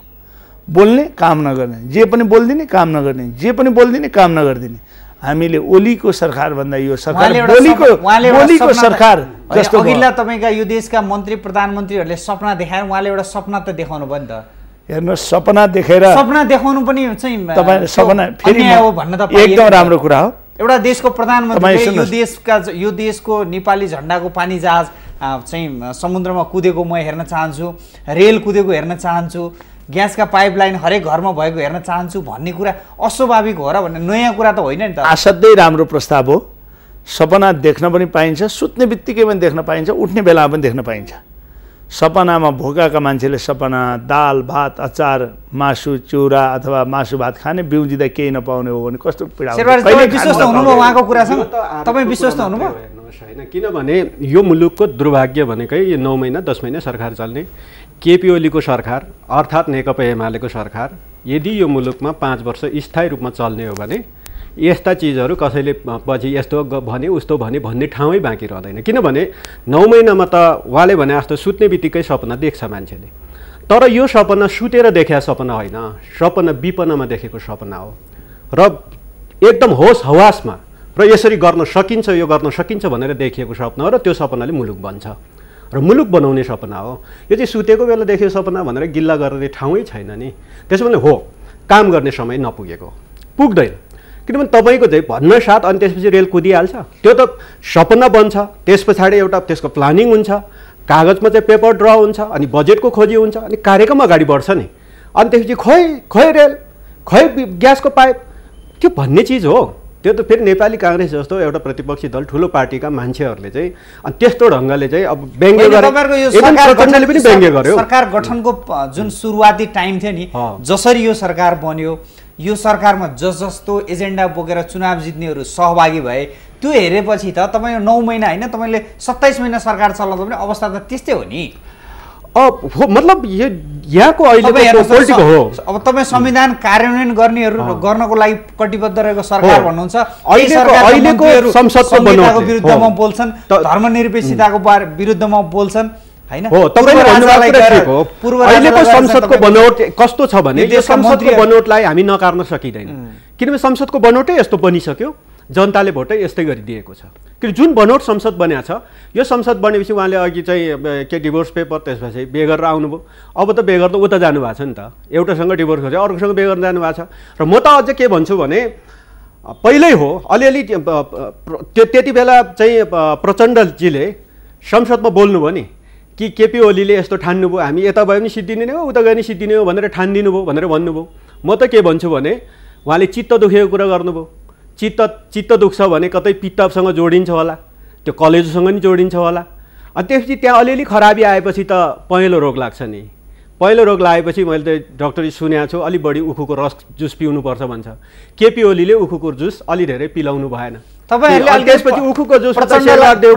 तपाईँहरूले अलिकति महत्त्वाकाङ्क्षी नै बनाइदिनु भयो। तपाईँका पार्टीका चाहिँ युवाहरूलाई लिएर गएर अब तपाईँहरूले तपाईँले कम्युनिस्ट पार्टीको नेतृत्व लिनुपर्छ अब तपाईँ हाम्रो नेता बन्नुपर्छ भनेर तपाईँहरूले पनि पठाएर उहाँहरूलाई भन्नु हामी महत्त्वाकाङ्क्षी। बनाइदिनु किनभने भयो। हो प्रचण्ड प्रचण्डजीको एजेन्डा अब के बाँकी छ? किनभने साँच्चै भन्दाखेरि प्रचण्डजीले जुन कुराको लागि यो मुलुकमा नेतृत्व गरिरहेको थियो उहाँको एजेन्डा बोक्नेहरू त्यो उहाँले जुन संयोजन फ्युजन गरेका थियो थुप्रै एजेन्डाहरू केही एजेन्डा विप्लवले बोकेर गएको छ केही एजेन्डा बाबुरामले बोकेर हिँडेको छ केही एजेन्डा मोहन वैद्यले बोकेर हिँडेको छ। अब प्रचण्डजीसँग के बाँकी रहन्छ? नेकपा एमालेको जनताको बहुदलीय जनवाद भन्दा बाहेक प्रचण्डजीसँग अब बाँकी के रहन्छ? अनि अहिले त केवल सत्ताको लागि प्रधानमन्त्रीको लागि त्यो अर्कोसँग बिहे गर्न गएको बाहेक अर्को के छ के छ र? अरू कुनै एजेन्डा मिलेर अरू ऊ होइन। एजेन्डा त एमालेको जनताको बौद्धिक जनवादसँग उहाँको अब अब बाँकी त्योभन्दा बाहेक उहाँले अर्को एजेन्डा बोकेर अर्को जानुपर्ने ठाउँै देख्दिनँ म त तपाईँहरूको यो नौ महिनाको अवधिको सरकार आ, को लाई सहकार्य गर्ने सन्दर्भमा काङ्ग्रेसको भूमिका कस्तो रह्यो? अब तपाईँ के मान्नुहुन्छ। हो एउटा कुरा चाहिँ उहाँहरूको के हो भने अरू कुरा उहाँले अघि रामरजीले व्याख्या गरे जस्तै उहाँले के के गर्नुभयो होला सबै गर्नुभयो होला। तर उहाँहरूको चाहिँ एउटा मनोविज्ञान चाहिँ मैले देखाएको छु मैले पनि पढाएको छु। किनभने म स्वतन्त्र हैसियतले यदि पार्टीगत रूपमा नहेर्दाखेरि उहाँहरू सत्ता कुर्सी बाहेक धेरै समय बाहिर बस्न सक्नुहुन्न। र उहाँ भन्नुहुन्छ रोस्टममा उभिएर सरकारमा नबसेको दिन भोलिपल्टै पर्सिपल्टै रोस्टममा उभिएर यो सरकारले गरेन सरकारले यसो गरेन उसो गरेन भन्नुहुन्छ। त्यसो भए उहाँहरू कुर्सीमा बस्दा के हेरी बसेको थियो त? मेरो प्रश्न छ नि त। जस्तो त्यो कुर्सीमा उहाँहरू प्रधानमन्त्री भएर बस्दाखेरिको कुर्सीको उहाँहरूको गन्ध अझै कुर्सीबाट हट्या छैन होला। अहिले पनि अब छ यो नौ महिना मात्र हो। अब तुरुन्तै बस्दै हुनुहुन्छ कुर्सीमा त। कोही कोही मन्त्री त बस्ने होला त्यो गन्ध अझै हट्या छैन होला अनि तत्काल आएर सरकारले यो गरेन ऊ गरेन त्यसो गरेन। त्यसो भए उहाँहरू त किन गरेन? जस्तो लोड सेडिङको कुरा अहिले आएको छ नि। लामो समय त नेपाली काङ्ग्रेसले नेतृत्व गरे हो नि। किन यो यो यो मुलुकको बिजुली बनाउने कुरामा यो मुलुकको विद्युतको चाहिँ होइन सङ्कट समाधान गर्ने कुरामा त्यो आधार बसाउने कुरामा किन लागेन? अनि केपी ओलीले अहिले म एक वर्षभित्र चाहिँ आधारभूत रूपमा चाहिँ हटाउँछु। दुई वर्षभित्र कम्प्लिट लोड सेडिङ अन्त्य गर्छु भन्दा एक वर्ष पनि पुरा भएन केपी केपी ओली नौ महिनामै केपी ओलीले निस्किनु पऱ्यो त्यसो भएको हुनाले अनि त्यस पछाडि खै केपी ओलीले बिजुली चाहिँ लोड सेडिङ हटाएको भनेर अनि प्रश्न गर्न पाइन्छ। त्यसो भएको हुनाले समय नपाएको हो। त्यो त हो नि रामहरजी नौ महिनाको अवधिमा तपाईँको एउटा प्रधानमन्त्रीले नौ महिनाको अवधिमा के गर्ने? तपाईँलाई विनम्रतापूर्वक फेरि भने शेर त उहाँले शेरबारजी अलिकता अध्ययनशील नेताको रूपमा पनि म लिन्छु नेकपा एमालेभित्र। तर एउटा कुरा अलिकता उहाँलाई इन्फर्मेसनको कमी भयो कि जस्तो लाग्यो। इतिहास हेरौँ। दुई हजार छयालिस सालपछि म एउटा उदाहरण दिन चाहन्छु। उहाँलाई पनि त्यो कुरा थाहा छ। छयालिस सालमा काङ्ग्रेसको सुस कृष्णप्रसाद भट्टराईको नेतृत्वमा अन्तरिम सरकार गठन भयो। त्यसमा नेकपा एमाले मिसिएरै बस्यो। कहिल्यै सत्ताबाट टाढा भएन। अडचालिस सालदेखि एकाउन्न साल दुई वर्ष तिन वर्षको अवधिमा नेकपा एमाले प्रतिपक्षमा बस्यो। त्यतिखेर देशमा भएका सबै घटनाको बारेमा हामीलाई थाहा छ। टेलिफोनका टावरदेखि रेलिङसम्म कुनै बाँकी रहेनन्। को प्रतिपक्षमा बस्दा के भयो भन्ने कुराको आधारमा मात्रै म भन्न चाहन्छु। केही बाँकी रहेनन्। मदन भण्डारीजी हुनुहुन्थ्यो। सत्तामा गएको सायद एक हप्ता दस दिन पछाडि नै सुरुवात भयो यो खेल। त्यसपछिबाट एकाउन्न सालमा मध्यावधि भयो त्यसपछि मनमोहनजी प्रधानमन्त्री हुनुभयो। त्यसमा पनि उहाँ सरकारमै बस्नुभयो। त्यसपछि मनमोहनजी हट्नुभयो शेरबारजी हुनुभयो। त्यसको लगतै फेरि उहाँहरूले लोकेन्द्र बहादुर चन्दलाई बनाउनु भयो त्यसमा पनि आफै बस्नुभयो। फेरि लोकेन्द्र बहादुर पछाडि सूर्यबहादुरजी बस्नुभयो। एउटा सूर्यबहादुर थापाको पालादेखि बाहेक नेपालको राजनीतिमा कुनै पनि प्रधानमन्त्रीको नेतृत्वमा नेकपा एमाले सरकारमा नगएको दिन छैन। त्यसपछि शेरबहादुरजी जानुभयो। फेरि उहाँको नेतृत्वमा बस्नुभयो। गिर्जाऊ जानुभयो। गिर्जाऊको नेतृत्वमा पनि उहाँहरू बस्नुभयो। त्यसपछि आधा प्रतिगमन सचिदा त सँगै गएकै हौँ त्यो विवादै भएन शेरबहादुरजीकै नेतृत्वमा। त्यसपछि प्रचण्डजी हुनुभयो चुनाव पछाडि प्रचण्डकोमा पनि उहाँहरू टाँसिएरै जानुभयो। आफ्नो सपना पुरा गर्न सकिँदैन भने अर्काको सपना पुरा गर्न मन्त्री खान मात्र किन जाने? प्रचण्ड पछाडि नेपालको इतिहासमा थाहा छँदैछ माधव नेपालजी हुनुभयो। माधव नेपालको अहिले। कुनै दिन पनि तर उहाँले भन्नुभयो काङ्ग्रेस सबभन्दा बढी बनेको बसेको उहाँहरू त प्रतिपक्षमा बस्यो कि त बुर्कै उफ्रिहाल्नुहुन्छ भन्नुभयो। हेरौँ त इतिहास को सत्तामा बसेको रहेछ कुन चाहिँ सरकार छोड्नु भएको रहेछ? म फेरि यो भनेर उहाँहरूलाई अप्ठ्यारो पार्न खोजेको होइन। जुन सरकार आए पनि छोड्न चाहिँ छोड्दै नछोड्ने अनि काम गर्न चाहिँ अरूले दिएनन् भन्न सुहाउँछ। केही काम गर्न नसक्ने हो भने किन सत्तामा जानु पर्यो? मन्त्री खान मात्रै जाने? मन्त्रीको पदको झन्डा लाउन मात्रै जाने? नीति तथा कार्यक्रम लागू गर्न सकिँदैन आफ्नो भिजन लागू गर्न सकिँदैन भने गर्न सकिन्छ ल सकिन्छ हामी मात्रै हुँदा। अहिले पनि नेपालको राजनीति बनौट अहिले मात्र होइन। अझैले हामीले समानुपातिक प्रतिनिधित्वको यो सिद्धान्तलाई लोवर हाउसमा राख्ने पद्धति विकास गऱ्यौँ भने अब पचास साठी वर्ष कहिल्यै पनि नेपालमा एक दलीय बहुमतीय सरकार बन्नै सक्दैन। त्यहाँ त हेर्नुहोस् हामीले भन्यौँ प्रत्यक्ष निर्वाचित प्रतिनिधि सभा एउटा बनाऊ। एउटा कमसेकम स्थिर गभर्मेन्ट हुन्छ। त्यसपछिबाट समानुपातिक प्रतिनिधित्वलाई हामीले राष्ट्रिय सभामा गरौँ। जुन जात वर्ग धर्म सम्प्रदाय छुटेका छन् त्यहाँ ल्याउँ भनेर भन्यौँ। त्यो पनि हामीले सक्यौँ न संसदबाट निर्णय नै गर्न सक्यौँ न संविधानमै त्यो कुरा उल्लेख गऱ्यौँ। र जे कुरा गर्न सकिँदैन ती कुराहरू बोलेर मात्रै त हुँदैन नि। दुई वर्षमा तपाईँलाई अनुरोध गर्न चाहन्छु लोड सेडिङ भनेको बिजुलीका पानीबाट बिजुली बनाउने कुरा भनेको इन्फ्रास्ट्रक्चर तयार गर्नका लागि। डिपिआर गर्न नै प्रोजेक्ट रिपोर्ट तयार गर्न नै ठुला ठुला प्रोजेक्टका लागि दुई वर्ष तिन वर्ष यसै समय लाग्छ। दुई वर्षमा लोड सेडिङ मुक्त गराउने योजनाहरू के के छन्? हावाबाट बिजुली कति ठाउँ निक्लिन्छ। हावा मात्रै कुरा गरेर त हुँदैन नि मुलुकलाई।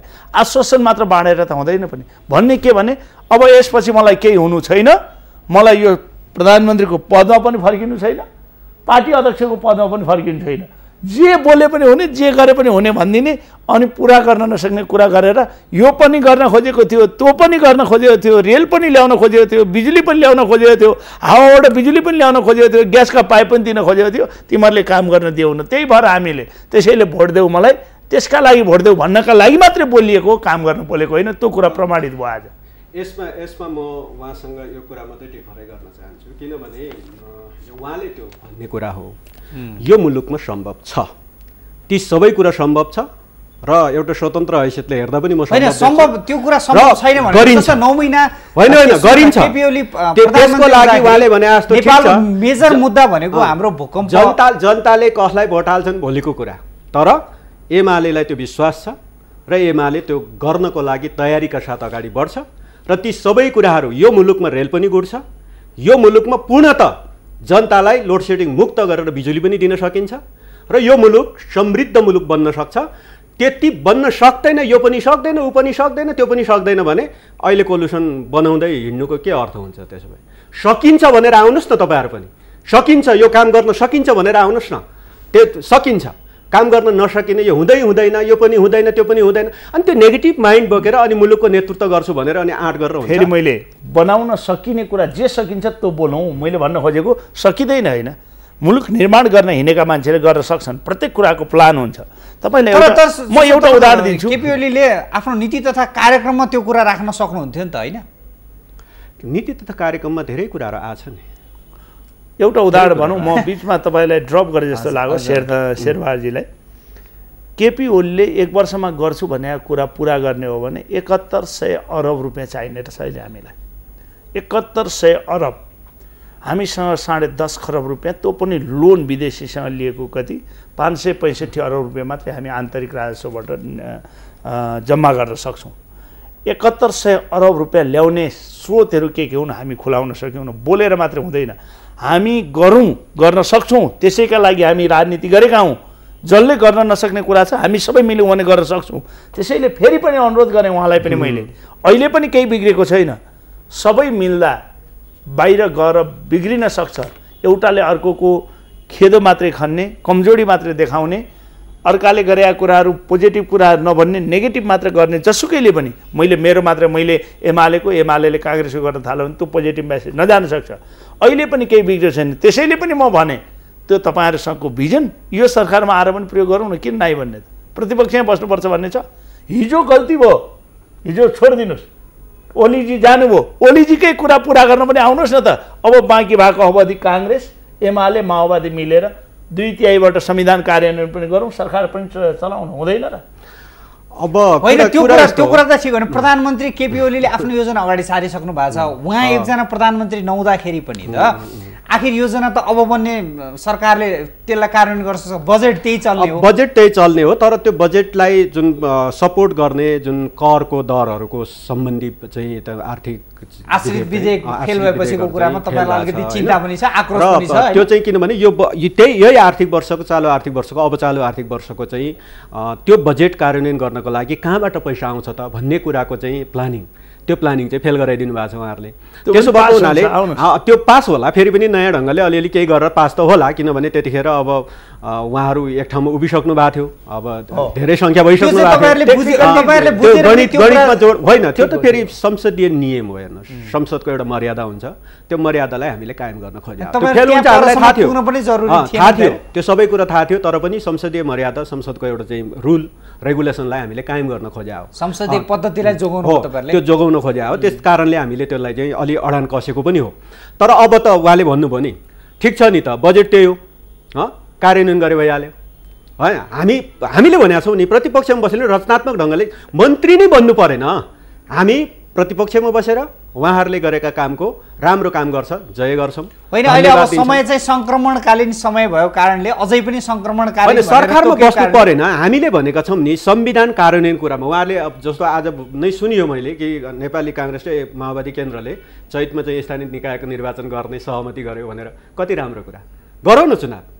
चैतमा के अगाडि नै गरौँ अथवा चैतमा घोषणा गरेको दिन गरेरै छोडौँ? होइन, यो एमाले त तिन हात उफ्रेर उहाँहरूले समर्थन गर्छ। होइन यो देशमा यो। देशमा चुनाव गराउने कुरा त यहाँ तपाईँको धेरै अगाडिदेखि चल्छ हरेक स्थानीय विकास मन्त्रीले मन्त्रालय सम्हाल्ने मन्त्रीले चाहिँ निर्वाचनको कुरा गर्नुहुन्छ तर अब निर्वाचनको कुरा अस्ति मङ्सिरको कुरा तय भएको थियो अघिल्लो सरकारले अब यो सरकारले चैतमा पुर्याएको छ। फेरि अर्को आउँछ अलिक पछि लाँदो। अर्को अर्को आउँछ अलिक पछाडि लान्छ। तपाईँलाई यो चुनावको कुरामा उहाँले अर्को पनि- प्रकाशमान सिंह सरकारमा स्थानीय विकास मन्त्री हुँदाखेरि। उहाँले हरेक दिन भाषणमा अब स्थानीय निकायको निर्वाचनको तयारी हामीले गरिरहेछौँ भन्नु उहाँ छोडेर गएको तपाईँले यो। कुरा चाहिँ तपाईँले हेर्नुहोस् नेपाली काङ्ग्रेस एमाले माओवादी हामी सबैको एउटा घोषणापत्र नै थियो संविधान सभाकै पछाडि हामी एक वर्षमा चुनाव संविधान बनाउँछौँ त्यसको छ महिनामा स्थानीय इलेक्सन पुरा गर्छौँ भन्ने। हामीले नसकेकै हो। यो स्थानीय निर्वाचन समयमा सम्पन्न गर्नका लागि पनि अहिले म फेरि पनि अनुरोध गर्न चाहेँ नेकपा एमाले सरकारमा आउनुपर्छ कारण कारण? कारण के हो भने प्रतिपक्षको हामी जस्तो रचनात्मक हामी जे भने पनि हुन्छ भन्ने प्रतिपक्षसँग त यति छिटो डराएर सत्ता छोड्नु पर्ने भयो उहाँहरू त लाठी मुङ्रा लिएर आइहाल्नुहुन्छ त कसलाई थाहा छैन? त्यसैले हामीलाई त्यो पनि डर छ। अहिले मात्रै होइन। त्यसैले मिलेर जाने बेला छ अहिले। मेरो फेरि पनि अनुरोध म अलिकता पार्टीभित्र पनि अलिकता कहिलेकाहीँ पार्टीको लाइनभन्दा पनि फरक पनि कुरा हुन सक्ला। तर मुलुकका लागि एउटा कुरा फेरि पनि तपाईँको मार्फत देशव्यापी जसले यो टेलिभिजन हेरिरहनु भएको छ सबैलाई अनुरोध गर्न चाहन्छु पहिलेको जस्तो सत्ता पक्ष प्रतिपक्ष भएर संसदीय पद्धति हामी स्वीकार्यौँ। म यो मानेमा केपी ओलीलाई पनि धन्यवाद दिन चाहन्छु। संसदको सर्वोच्चलाई स्वीकार्दै संसदभित्र आएर यिनै सांसदले मलाई निर्वाचित गरेका हुन्। यिनै बहुमत भएपछि म पदमा बस्दिनँ छोड्छु भनेर जुन एउटा संसदीय प्रजातन्त्रको सर्वोच्च परिचयलाई सर्वोच्चतालाई स्वीकारेर जानुभयो यो पद्धतिको विकास गर्नुभएकोमा उहाँलाई म फेरि पनि धन्यवाद दिन चाहन्छु। त्यो सँगसँगै केही कुराहरू हामी सबै एक ठाउँमा नभइकन केही गर्न सकिँदो रहेनछ भन्ने प्रमाण संविधान सभाबाट संविधान जारी गर्दा पनि देख्यौँ हामीले। हामी एमाले काङ्ग्रेस र अरू केही साथीहरूले झन्नै माओवादी त्यतिखेर थिएन। चार सय पन्ध्रको अठारको सही लगेर संविधान जारी हुनुपर्छ त्यसमा उहाँ पनि हुनुहुन्थ्यो। जारी हुनुपर्छ भनेर बुझाउँदाखेरि पनि त्यतिखेर तत्कालीन प्रतिपक्ष पोजिटिभ नभएकाले संविधान जारी गर्न नसकेर अन्तिम दिन हामीले संविधान जारी गर्न हामी विरोधी हौँ न। संविधान हामीले ल्याएको भन्ने पार्टी राति ढुङ्गामुढा त्यो संविधान सभाभित्र कुर्सी हानहान भएको त देख्यौँ नि काहीँ न काहीँ असर त गरिहाल्दो रहेछ नि। संविधान जारी गर्न हामी थियौँ न भन्न नेकपा माओवादी चाहन्थ्यो त। सबभन्दा बढी उहाँ नै तर जारी गरौँ भन्दा मान्नु भएन नि आखिर। प्रतिपक्षमा गइसकेपछि आफ्नो धर्म निर्वाह गर्ने काममा कहिलेकाहीँ त्यस्तो पनि हुनसक्छ। त्यसैले अहिले पनि केही बिग्रेको छैन। केपी ओलीजी प्रधानमन्त्री हुनुहुन्न। भनेपछि प्रति- मन्त्री भएर बसेर काम गर्न। सदनमा प्रतिपक्षी दलै नराखेर सबै छन् नि छन् नि यो प्रत्यक्षमा नजिते पनि समानुपातिकमा आएका साथीहरू हुनुहुन्छ नि कमल थापाजीहरू हुनुहुन्छ अरू होलान् कोही होलान् सबै होइन तर पनि पार्टी एकीकरण हुँदैछ उहाँहरू फेरि सरकारमा ठिकै छ। दुई तिहाई एक ठाउँमा भइसकेपछि केही संविधानमा कम्पोनेन्टहरू नमिलेका छन् भने अरू कुरा केही गर्नुपर्ने छ भने मधेसवादी दलका केही कुराहरू सबै सामूहिक रूपमा बसेर छलफल गर्नुपर्ने छ भने किन प्रतिपक्ष फलानु फलायो भने? एकै ठाउँ बसेर निर्णय गर्न सकिन्छ। के बिग्रेको छ? योभन्दा अगाडि एउटा म बताउन चाहन्छु। संविधान संशोधनको जुन दुईवटा बुँदा हामीले संशोधन गरेका छौँ त्यति बेला नेपाली काङ्ग्रेस प्रतिपक्षमा हुँदा पनि समर्थन गरेरै संशोधन गरियो। र अहिले पनि संविधान संशोधन गर्ने कुरामा संविधानका नमिलेको कुराहरू मिलाउने कुरामा मैले भनिहालेँ नेकपा एमाले पूर्णत संविधानको कार्यान्वयन गर्ने कुरामा पूर्णत सहमत छ। र त्यसमा सपोर्ट हुन्छ। र जहाँसम्म तपाईँको मन्त्रीमै बस्नुपर्छ एमाले सरकारमै सहभागी हुनुपर्छ भन्ने कुरामा अहिले हामी एब्सोल्युटली हामी त्यो कुरामा सहमत हुँदैनौँ। र हामी संविधान कार्यान्वयन गर्ने निर्वाचन गर्ने कुराको अब बन्ने सरकारले यदि त्यो ढङ्गले चाहिँ आउँछ र एमालेसँग वार्ता गर्छ भने त्यो कुरा बोकेर आउँछ भने लौ न सरकारमा बसिदिनु पऱ्यो लौ मन्त्री बनिदिनु पऱ्यो भनेर प्रस्ताव लिएर आउँछ एमालेको लागि त्यो स्वीकार्य हुँदैन। तर लौ न यो संविधानमा यो संशोधन गर्नु पऱ्यो यो यसरी जानु पऱ्यो यसरी मिलाएर लानु पऱ्यो निर्वा निर्वाचन गर्नु पऱ्यो भनेर प्रस्ताव लिएर आउँछ भने एमाले त कहाँ कहाँ थिच्नुपर्छ एमाले थिच्न तयार छ। मैले रामरजीलाई सोध्न चाहे सहमतीय सरकार गठनको लागि नेपाली काङ्ग्रेसले के के गर्यो? म तपाईँलाई के के गरिरहेछ? अहिले अहिले अहिले अहिले भने हिजो मैले त सबभन्दा पहिला सुरुवात संविधान जारी भइसकेको कुराबाट तपाईँसँग अनुरोध गरेँ। अघि नै मैले आफ्ना कुराहरू भनिसकेँ। संविधान जारी गर्दाकै बखत म चाहिँ व्यक्तिगत रूपमा भन्नुहुन्छ भने पार्टीगत निर्णय भएर धेरै हाम्रा साथीहरू त्यतिखेर सुशील कोइरालाले उम्मेदवारी दिनु हुँदैन थियो भन्ने पक्षमा थियौँ। म पनि थिएँ र केही नेताहरू पनि हुनुहुन्थ्यो। मैले अघि नै फेरि पनि विनम्रतापूर्वक भने त्यहाँ कमजोरी भएपछि राष्ट्रपतिमा पहिलो पार्टी सभामुखमा तेस्रो पार्टी उपसभामुखमा चौथो पार्टी प्रधानमन्त्रीमा दोस्रो पार्टी। यस्तो राम्रो वातावरण सिर्जना हुन्थ्यो। हामी त्यहीँबाट मिस्टेकमा पुग्यौँ एउटा। त्यसमा ककसको दोष छ त्यो कुरा सबै बिच छलफल भएकै कुरा हो मैले अघि पनि भने अहिलेको परिप्रेक्ष्यमा राष्ट्रपतिले टाइम दिएको छ सात दिनको यही सहमति सरकार गठन गर्नका लागि। हाम्रो पार्टीको आदरणीय सभापतिजीले पनि रोस्टममा उब्रिएर एउटा लोकतन्त्रको सबभन्दा सुन्दर पक्ष भनेको एउटा ठुलो पार्टी प्रतिपक्षमा जाने एउटा सत्ता पक्षमा जाने हो भनेर बोल्नुभयो। त्यो एकदम संसारमा प्रजातान्त्रिक मूल्य र मान्यताभित्र रहने हो भने त्यो एकदम राम्रो पक्ष हो हुँदा पनि हो। अहिले तर नेपाल सङ्क्रमणकालीन व्यवस्थामा भएका कारणले हामीले अनुरोध गऱ्यौँ। आजै बिहान पनि म हाम्रो पार्टी सभाज्यूलाई भेटेर आएको छु मैले पनि कुरा राखेको छु। उहाँ पनि पछि आउँछन् भने हामी किन नाइ भन्ने भन्ने पक्षमा हुनुहुन्छ। ठिकै छ उहाँले त्यो कुरा पनि म पार्टीमा चाहिँ हामी सरकारमा चाहिँ आउँदैनौँ मन्त्री पुगो अब हामी धेरै वर्ष खाँदा खाँदा खाँदा खाँदा मन्त्रीबाट वाक्क भयौँ। अब हामी प्रतिपक्षमा बसेर यी रचनात्मक काम सहयोग गर्छौँ भन्नुभयो भने हामी शेरधनजीहरूलाई फेरि पनि बधाई र धन्यवाद दिन चाहन्छौँ। मुलुकले पदभन्दा पदभन्दा प्रतिष्ठाभन्दा देशको इज्जतलाई पहिलो प्राथमिकता राखेर काम गर्ने मान्छेहरूलाई नै भोलि सही ठाउँमा पुर्याउँछन्। यिनै नेपाली जनता हुन् त्यो बाटोमा हामी जाउँ। केही बिग्रिँदैन। तपाईँहरू आउँदै आउनुहुन्न भने त अब सरकार त चलाउनै पर्छ प्रतिपक्षमै बस्नुहोस्। रचनात्मक सरकारको लागि तपाईँहरूले पनि त प्रयास होइन अहिले अहिले जुन खेल भयो यो सहमतीय सरकारको खेल हुँदै होइन। यो त संविधानको बाध्यात्मक व्यवस्थाको कारणले सहमतिको लागि सात दिन भनेर समय राख्नुपर्ने संविधानको औपचारिकता मात्रै औपचारिकता हो। र यो जुन कोणबाट सरकार ढाल्ने सरकार बनाउने जुन खेल खेल्यो नि। यो खेल चाहिँ सहमतीय सरकारको लागि खेल खेलिएकै होइन नि। बहुमतीय सरकारको लागि र यो मुलुकले एकचोटि मैले त पहिलेदेखि भनेको है फेरि सत्तरी सालको निर्वाचनबाट संसदको जुन बनोट आयो यो बनोटले एकचोटि यो मुलुकले नेपाली काङ्ग्रेस र एकीकृत माओवादी मिलेर अहिलेको माओवादी केन्द्र मिलेर एकचोटि सरकार बेहोर्नै पर्छ भनेर मैले उहिलेदेखि बोलेको छु। एकचोटि यो सरकार बेहोर्नुपर्छ मुलुकले। र त्यो राम्रो चल्ला नराम्रो चल्ला तर मुलुकले एकचोटि त्यसको अनुभव गर्नु गर्नुपर्छ। र त्यो दिन आयो। र मलाई लाग्छ अब यसको पनि सफलता असफलता होला। अब पाँच छ महिना यसले कति रन गर्छ। त्यस पछाडि चाहिँ हो तपाईँले अघि भने जस्तो अनि फेरि सहमतिको चाहिँ अनि त्यसपछि कुरा चल्न थाल्छ अनि अनि चर्चा चल्न थाल्छ। मलाई लाग्छ त्यसपछि चाहिँ सहमति सरकारको अनि बहस पाँच छ महिनापछि सुरु हुन्छ। भनेपछि तपाईँहरू अहिले प्रचण्डजीको नेतृत्वमा नजाने तपाईँहरूले लगभग ग्रिन सिग्नल गर्नुभयो। त्यस पछाडि अर्को को नेतृत्वमा तपाईँ जस्तो अहिले वर्तमानमा जुन खेलका साथ तपाईँको चाहिँ बहुमतीय सरकार यो खेलको तपाईँहरूको सरकारले एकचोटि त यो सरकार त बन्नै पर्यो नि। बहुमतीय सरकारको लागि उहाँहरू चाहिँ मिलेर होइन तपाईँको चाहिँ हो नि त यतापट्टि अहिले दिएको पीडा बिर्सिसक्नु यत- यतापट्टि प्रधानमन्त्रीसँग एउटा वार्ता गरिरहेछ उतापट्टि गएर अर्को बुझे सम् सम्झौता गरिसकेका छ उहाँले चाहिँ अर्को केही करारनामा गरिसक्नु भएको छ। भनेपछि त यो त सहमतीय सरकारको लागि खेल थिएन नि। यो त बहुमतीय सरकार बनाउनको लागि उहाँहरू दुईवटा दल बिच मिलेर त्यसपछि अरू पनि को को आउँछ मिलाएर चाहिँ बनाउनको लागि। जब त्यो नै त्यो प्रक्रिया नै अगाडि बढिसकेपछि यसले त एउटा निकास त लिनु पऱ्यो नि त। खेल त हुन्छ नै नि। हुन्छ। होइन? संसदमा अङ्कगणित त्यो तपाईँको चाहिँ जोड घटाउ भनेपछि। तपाईँहरूलाई प्रचण्डजीको पार्टीसँग अलि बढी रिस उठेको कारणले अब होइन होइन। हामी त तपाईँको चाहिँ कसैसँग किन रिस? तपाईँको चाहिँ संसदभित्र सङ्ख्या जसको बहुमत हुन्छ उसले सरकार चलाउँछ। यो अब त्यसमाले प्रधानमन्त्री हाम्रो पार्टीले नेतृत्व गरिरहेको सरकारको बहुमत पुगेन अहिलेलाई।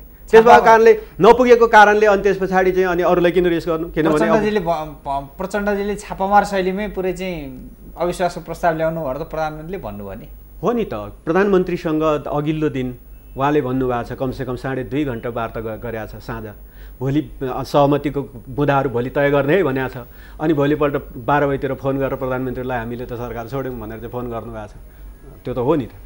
अब एउटा छलफल चलिरहेछ त्यो छलफल अप्रत्याशित रूपमा चाहिँ हामीले त अब सरकार छोड्यौँ अर्कोसँग भएन। संसदमा प्रचण्डको भाषण उहाँको भाषण सुन्ने हो भने त यसमा त लामै घटनाक्रम र उहाँहरूको बिचमा बेमेल र असमझदारीहरू निकै अगाडि थियो भन्ने देखिन्छ क्या। उहाँले वास्तवमा अविश्वासको प्रस्ताव राखेको बुँदाहरूमा त्यस्ता धेरै कुराहरू छैनन् तर उहाँले भाषणको क्रममा चाहिँ जे व्यक्त गर्नुभयो त्यो व्यक्तिगत रूपमा इगो भएको के भएको चित्त दुखेको उहाँले मैले भनेको कुरा नगरेको यस्ता यस्ता कुरा आयो क्या नेताले बोल्ने कुरा होइन क्या त्यो नेताले कोसँग चित्त दुखे कोसँग यस्तो भयो यस्तो भयो मैले भनेको कुरा गरेन।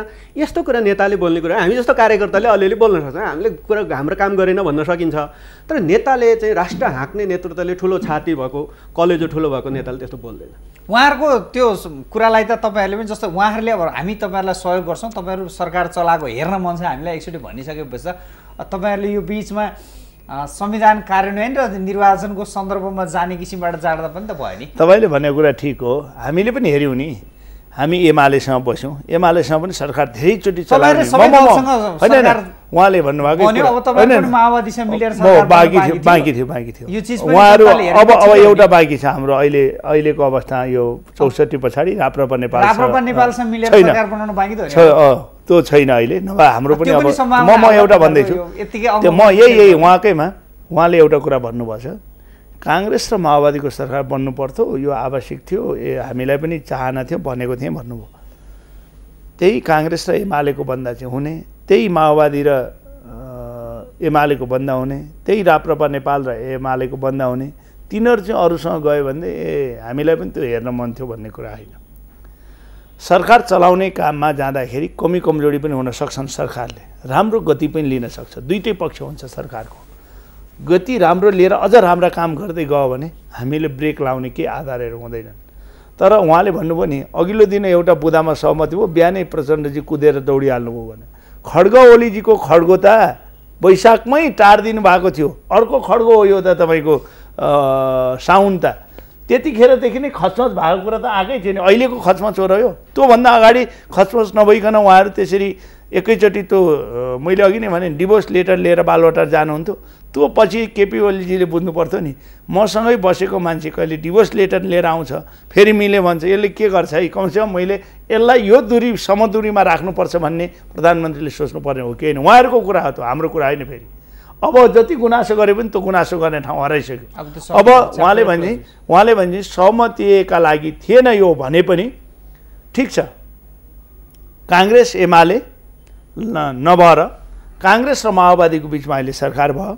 तपाईँहरूले रचनात्मक रूपमा राम्रा कुरामा जसरी हिजो हामीले सर्टेन कुरामा केपी ओलीका कुनै पनि कुरामा विरोध नगरिकन मैले अघि एउटा उदाहरणै दिएँ। बजेट ल्याउने कुरामा हामीले बजेट कटौतीको प्रस्ताव शुद्ध राख्यौँ। त्यस्तै कुनै बेला भूकम्प जाँदा नेकपा माओवादी केन्द्रले प्रतिपक्ष जस्तो भूमिका सबै मिलेर जान सके भयौँ हामी एमाले र काङ्ग्रेस सरकारमा हुँदा माओवादीले पनि त्यतिखेर संविधान बनाउने कुरामा अन्तिम समयमा इभन विजय गच्छेदारले केही कुरामा साथ दिएको।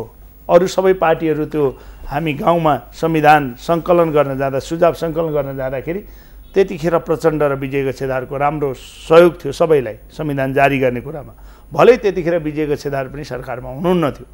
एउटा संस्कृति विकास गर्न सकिन्छ अहिले पनि। पोजिटिभ कुरालाई हामी सबै मिलेर जाउँ भन्न सकिन्छ। यो केही बिग्रेको छैन।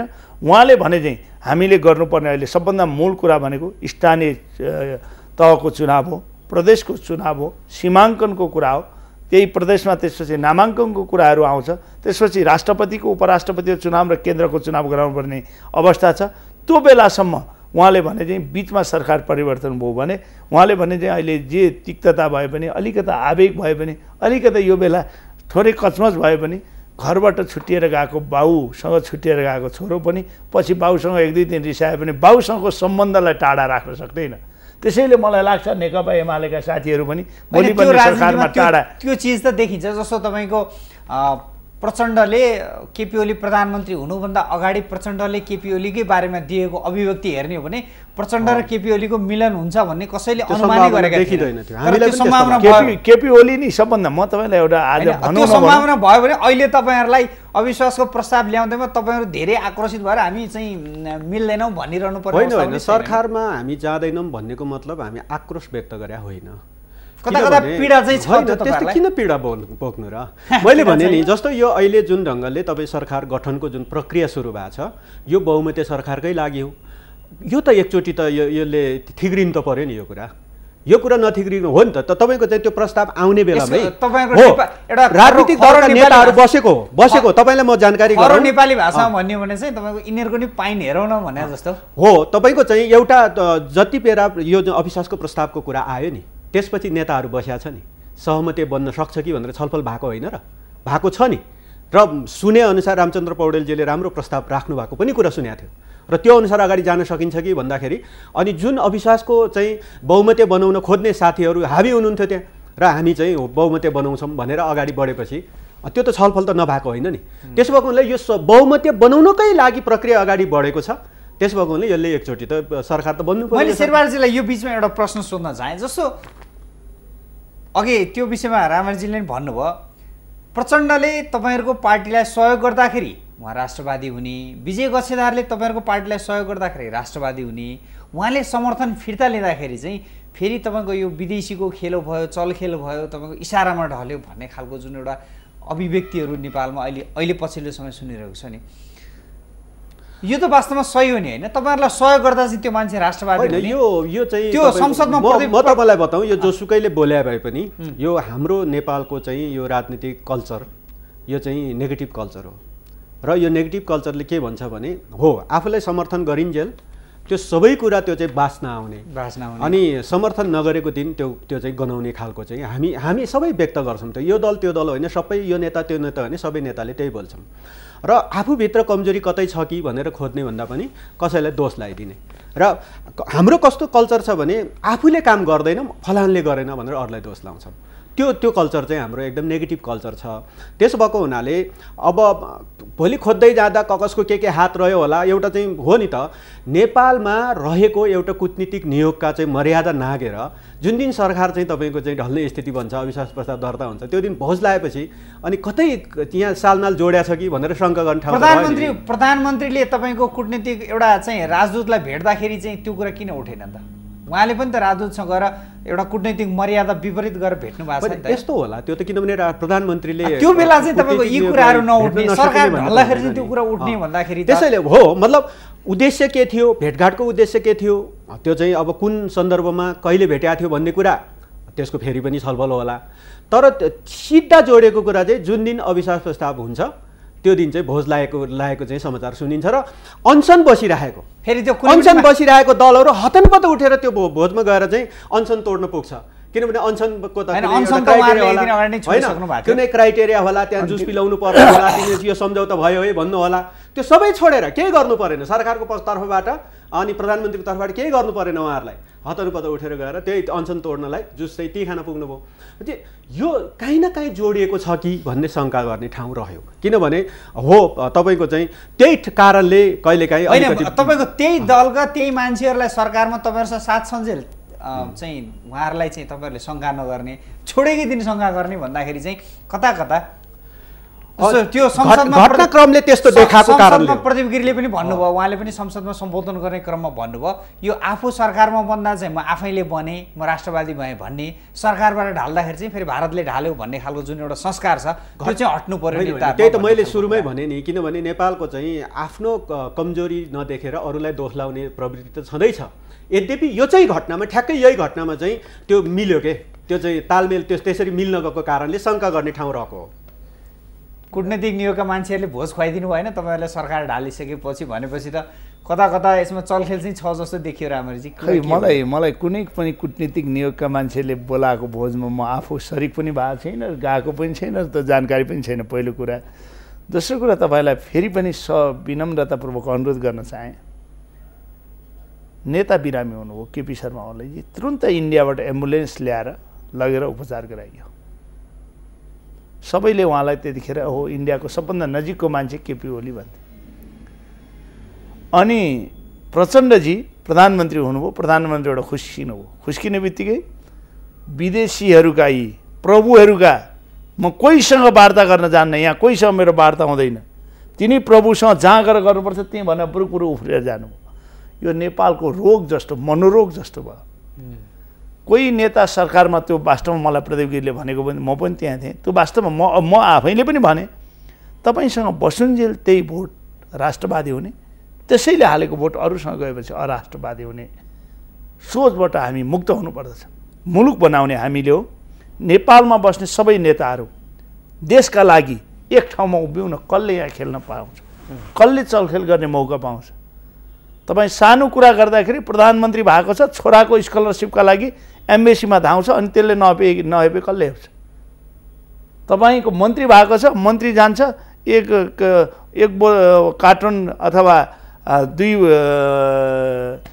टा ठुला ट्रकमा ग्यास अलिकता बढी ल्याइदिनु पऱ्यो भने मन्त्रीले एम्बेसीमा धाउन थालेपछि अनि टेर्छ स्वाभिमानका लागि आफ्नो आइडेन्टिटी कुनै पनि नेताले कुनै बखत पनि स्वाभिमानलाई झुक्न नदिने वातावरण सिर्जना गर्यो भने यी कुरै आउँदैन सबै नेताहरू बेला बेलामा कुनै ठाउँ झुक्ने कुनै ठाउँ लुक्ने कुनै ठाउँ हुकार गर्ने प्रवृत्ति भएका कारणले अरूले दोष लाउने ठाउँ बनेको मात्रै हो। मलाई लाग्छ कोही पनि नेताहरू नेपालको राष्ट्रियता राष्ट्रिय अखण्डता सार्वभौमिकता र नेपालको एकता र अक्षुण्ण राख्ने कुरालाई कोही पनि नेता कोहीसँग गएर कम्प्रोमाइज गरेर आउलान् जस्तो मलाई लाग्दैन। र यो दिन नेपाली नेताहरूले गरे अरे भन्ने हामीले सुन्नु पनि नपरोस्। र कोही साथीहरूलाई त्यो भ्रम छ भने हामी यहाँबाट नभइकन चल्दैनौँ यो नभइकन मुलुकै चल्दैन भन्यो भने त्यो बाटोमा कोही भ्रममा हुनुहुन्छ भने त्यो बाटोमा नगइदिन पनि म साधारण अनुरोध गर्दछु। हामी पहिला नेपालमा बस्ने नेपालीहरू हाम्रै मानसिकताले हाम्रै मानसिकताले एउटालाई हेर्ने प्रवृत्तिको विकास गरौँ। खालि अर्काको आँखाले मात्रै अर्कोलाई हेर्ने पद्धतिको विकास नगरौँ। हाम्रो अनुरोध त तपाईँको न बाह्रमुदे भयो न तपाईँलाई फेरि पनि। अनुरोध गरेँ सर्टेन कुरामा चाहिन्छ। हामी भूपरिवेष्टिक मुलुक पनि हौँ। त्यो भनेर उहाँहरूले जे जे भन्नु त्यही त्यही मान्नुपर्छ भन्ने हाम्रो बाध्यता पनि होइन। तर त्यो नाउँमा हामीले गएर समर्पणै गर्नुपर्छ खुट्टामा ढोग्नै पर्छ भन्ने जुन प्रवृत्ति छ नि त्यो प्रवृत्ति पनि हामीले अन्त्य गर्नु पर्यो नि प्रत्येक नेताले। नभएदेखि जहिले प्रतिपक्षमा बस्दा हुकार गर्ने सत्तामा फेरि खुट्टा समात्दै जाने प्रवृत्ति यो सबैको गलत हो। यो बाटोमा कोही जानु पर्दैन। मलाई लाग्छ कोही गएका हुन् भनेदेखि म त्यो ठाउँमा पुगेको छुइनँ प्रधानमन्त्रीको कुर्सीमा। त्यो माध्यमबाट केपी ओलीजी पुग्नु भयो भए पनि हिजो गलत हो। आज प्रचण्डजी पुग्नु भएको हो भने पनि गलत हो। तर मलाई के विश्वास छ भने आजको सरकार जसले जति भने पनि मैले सुन्दैछु काहीँ कुनै एउटा मिडियाले यस्तो लेखो अरे इन्डियाको पेपरमा यो आयो अरे इन्डियन फलानाले यो लेखो अरे यो र के अरे फास्ट ट्र्याकको कुरा आयो अरे नेपालले बनाउन सक्ने कुरा हामी आफै बनाऊ। कसैको अनुदान सहयोग हामीलाई आवश्यक छैन। बनाउन सक्यौँ न भने कोसँग सरसहयोग गर्ने? तर सबै मुलुकै कि त दिनु पऱ्यो यो चाहिँ तेरै तुम शरणम गर्नु पऱ्यो भन्ने प्रवृत्तिको कोही मानसिकता छ भने हामी त्योसँग सहमत हुन सक्छौँ। त्यो हुँदैन पनि र त्यो दृष्टिकोणले नेतृत्वमा जाने मान्छेले बोल्नु पनि हुँदैन र काम पनि गर्नु हुँदैन मेरो चित्त धारणा। शेरबारजी अब यो अहिले बन्ने जुन सरकारलाई तपाईँहरूको सहयोग र समर्थन रहन्छ तपाईँहरूले प्रतिपक्षको रूपमा हिजो काङ्ग्रेसले खेलेको जस्तै खालको रचनात्मक भूमिका खेल्नुहुन्छ? अब काङ्ग्रेसले त्यसमा तपाईँहरूले। कमिटमेन्ट पनि त गर्नु पऱ्यो नि त। ठिक छ काङ्ग्रेसले कति रचनात्मक खेल्या थियो कति खेल्या थिएन त्यो समीक्षा गरौँला। तर हाम्रो रचनात्मक समर्थन रहन्छ। र हामी संविधानमा संविधान कार्यान्वयन गर्ने कुरामा र र निर्वाचन गर्ने कुरामा त्यो बुदा लिएर आउँछ भने नेकपा एमाले पूर्णत समर्थन गर्छ।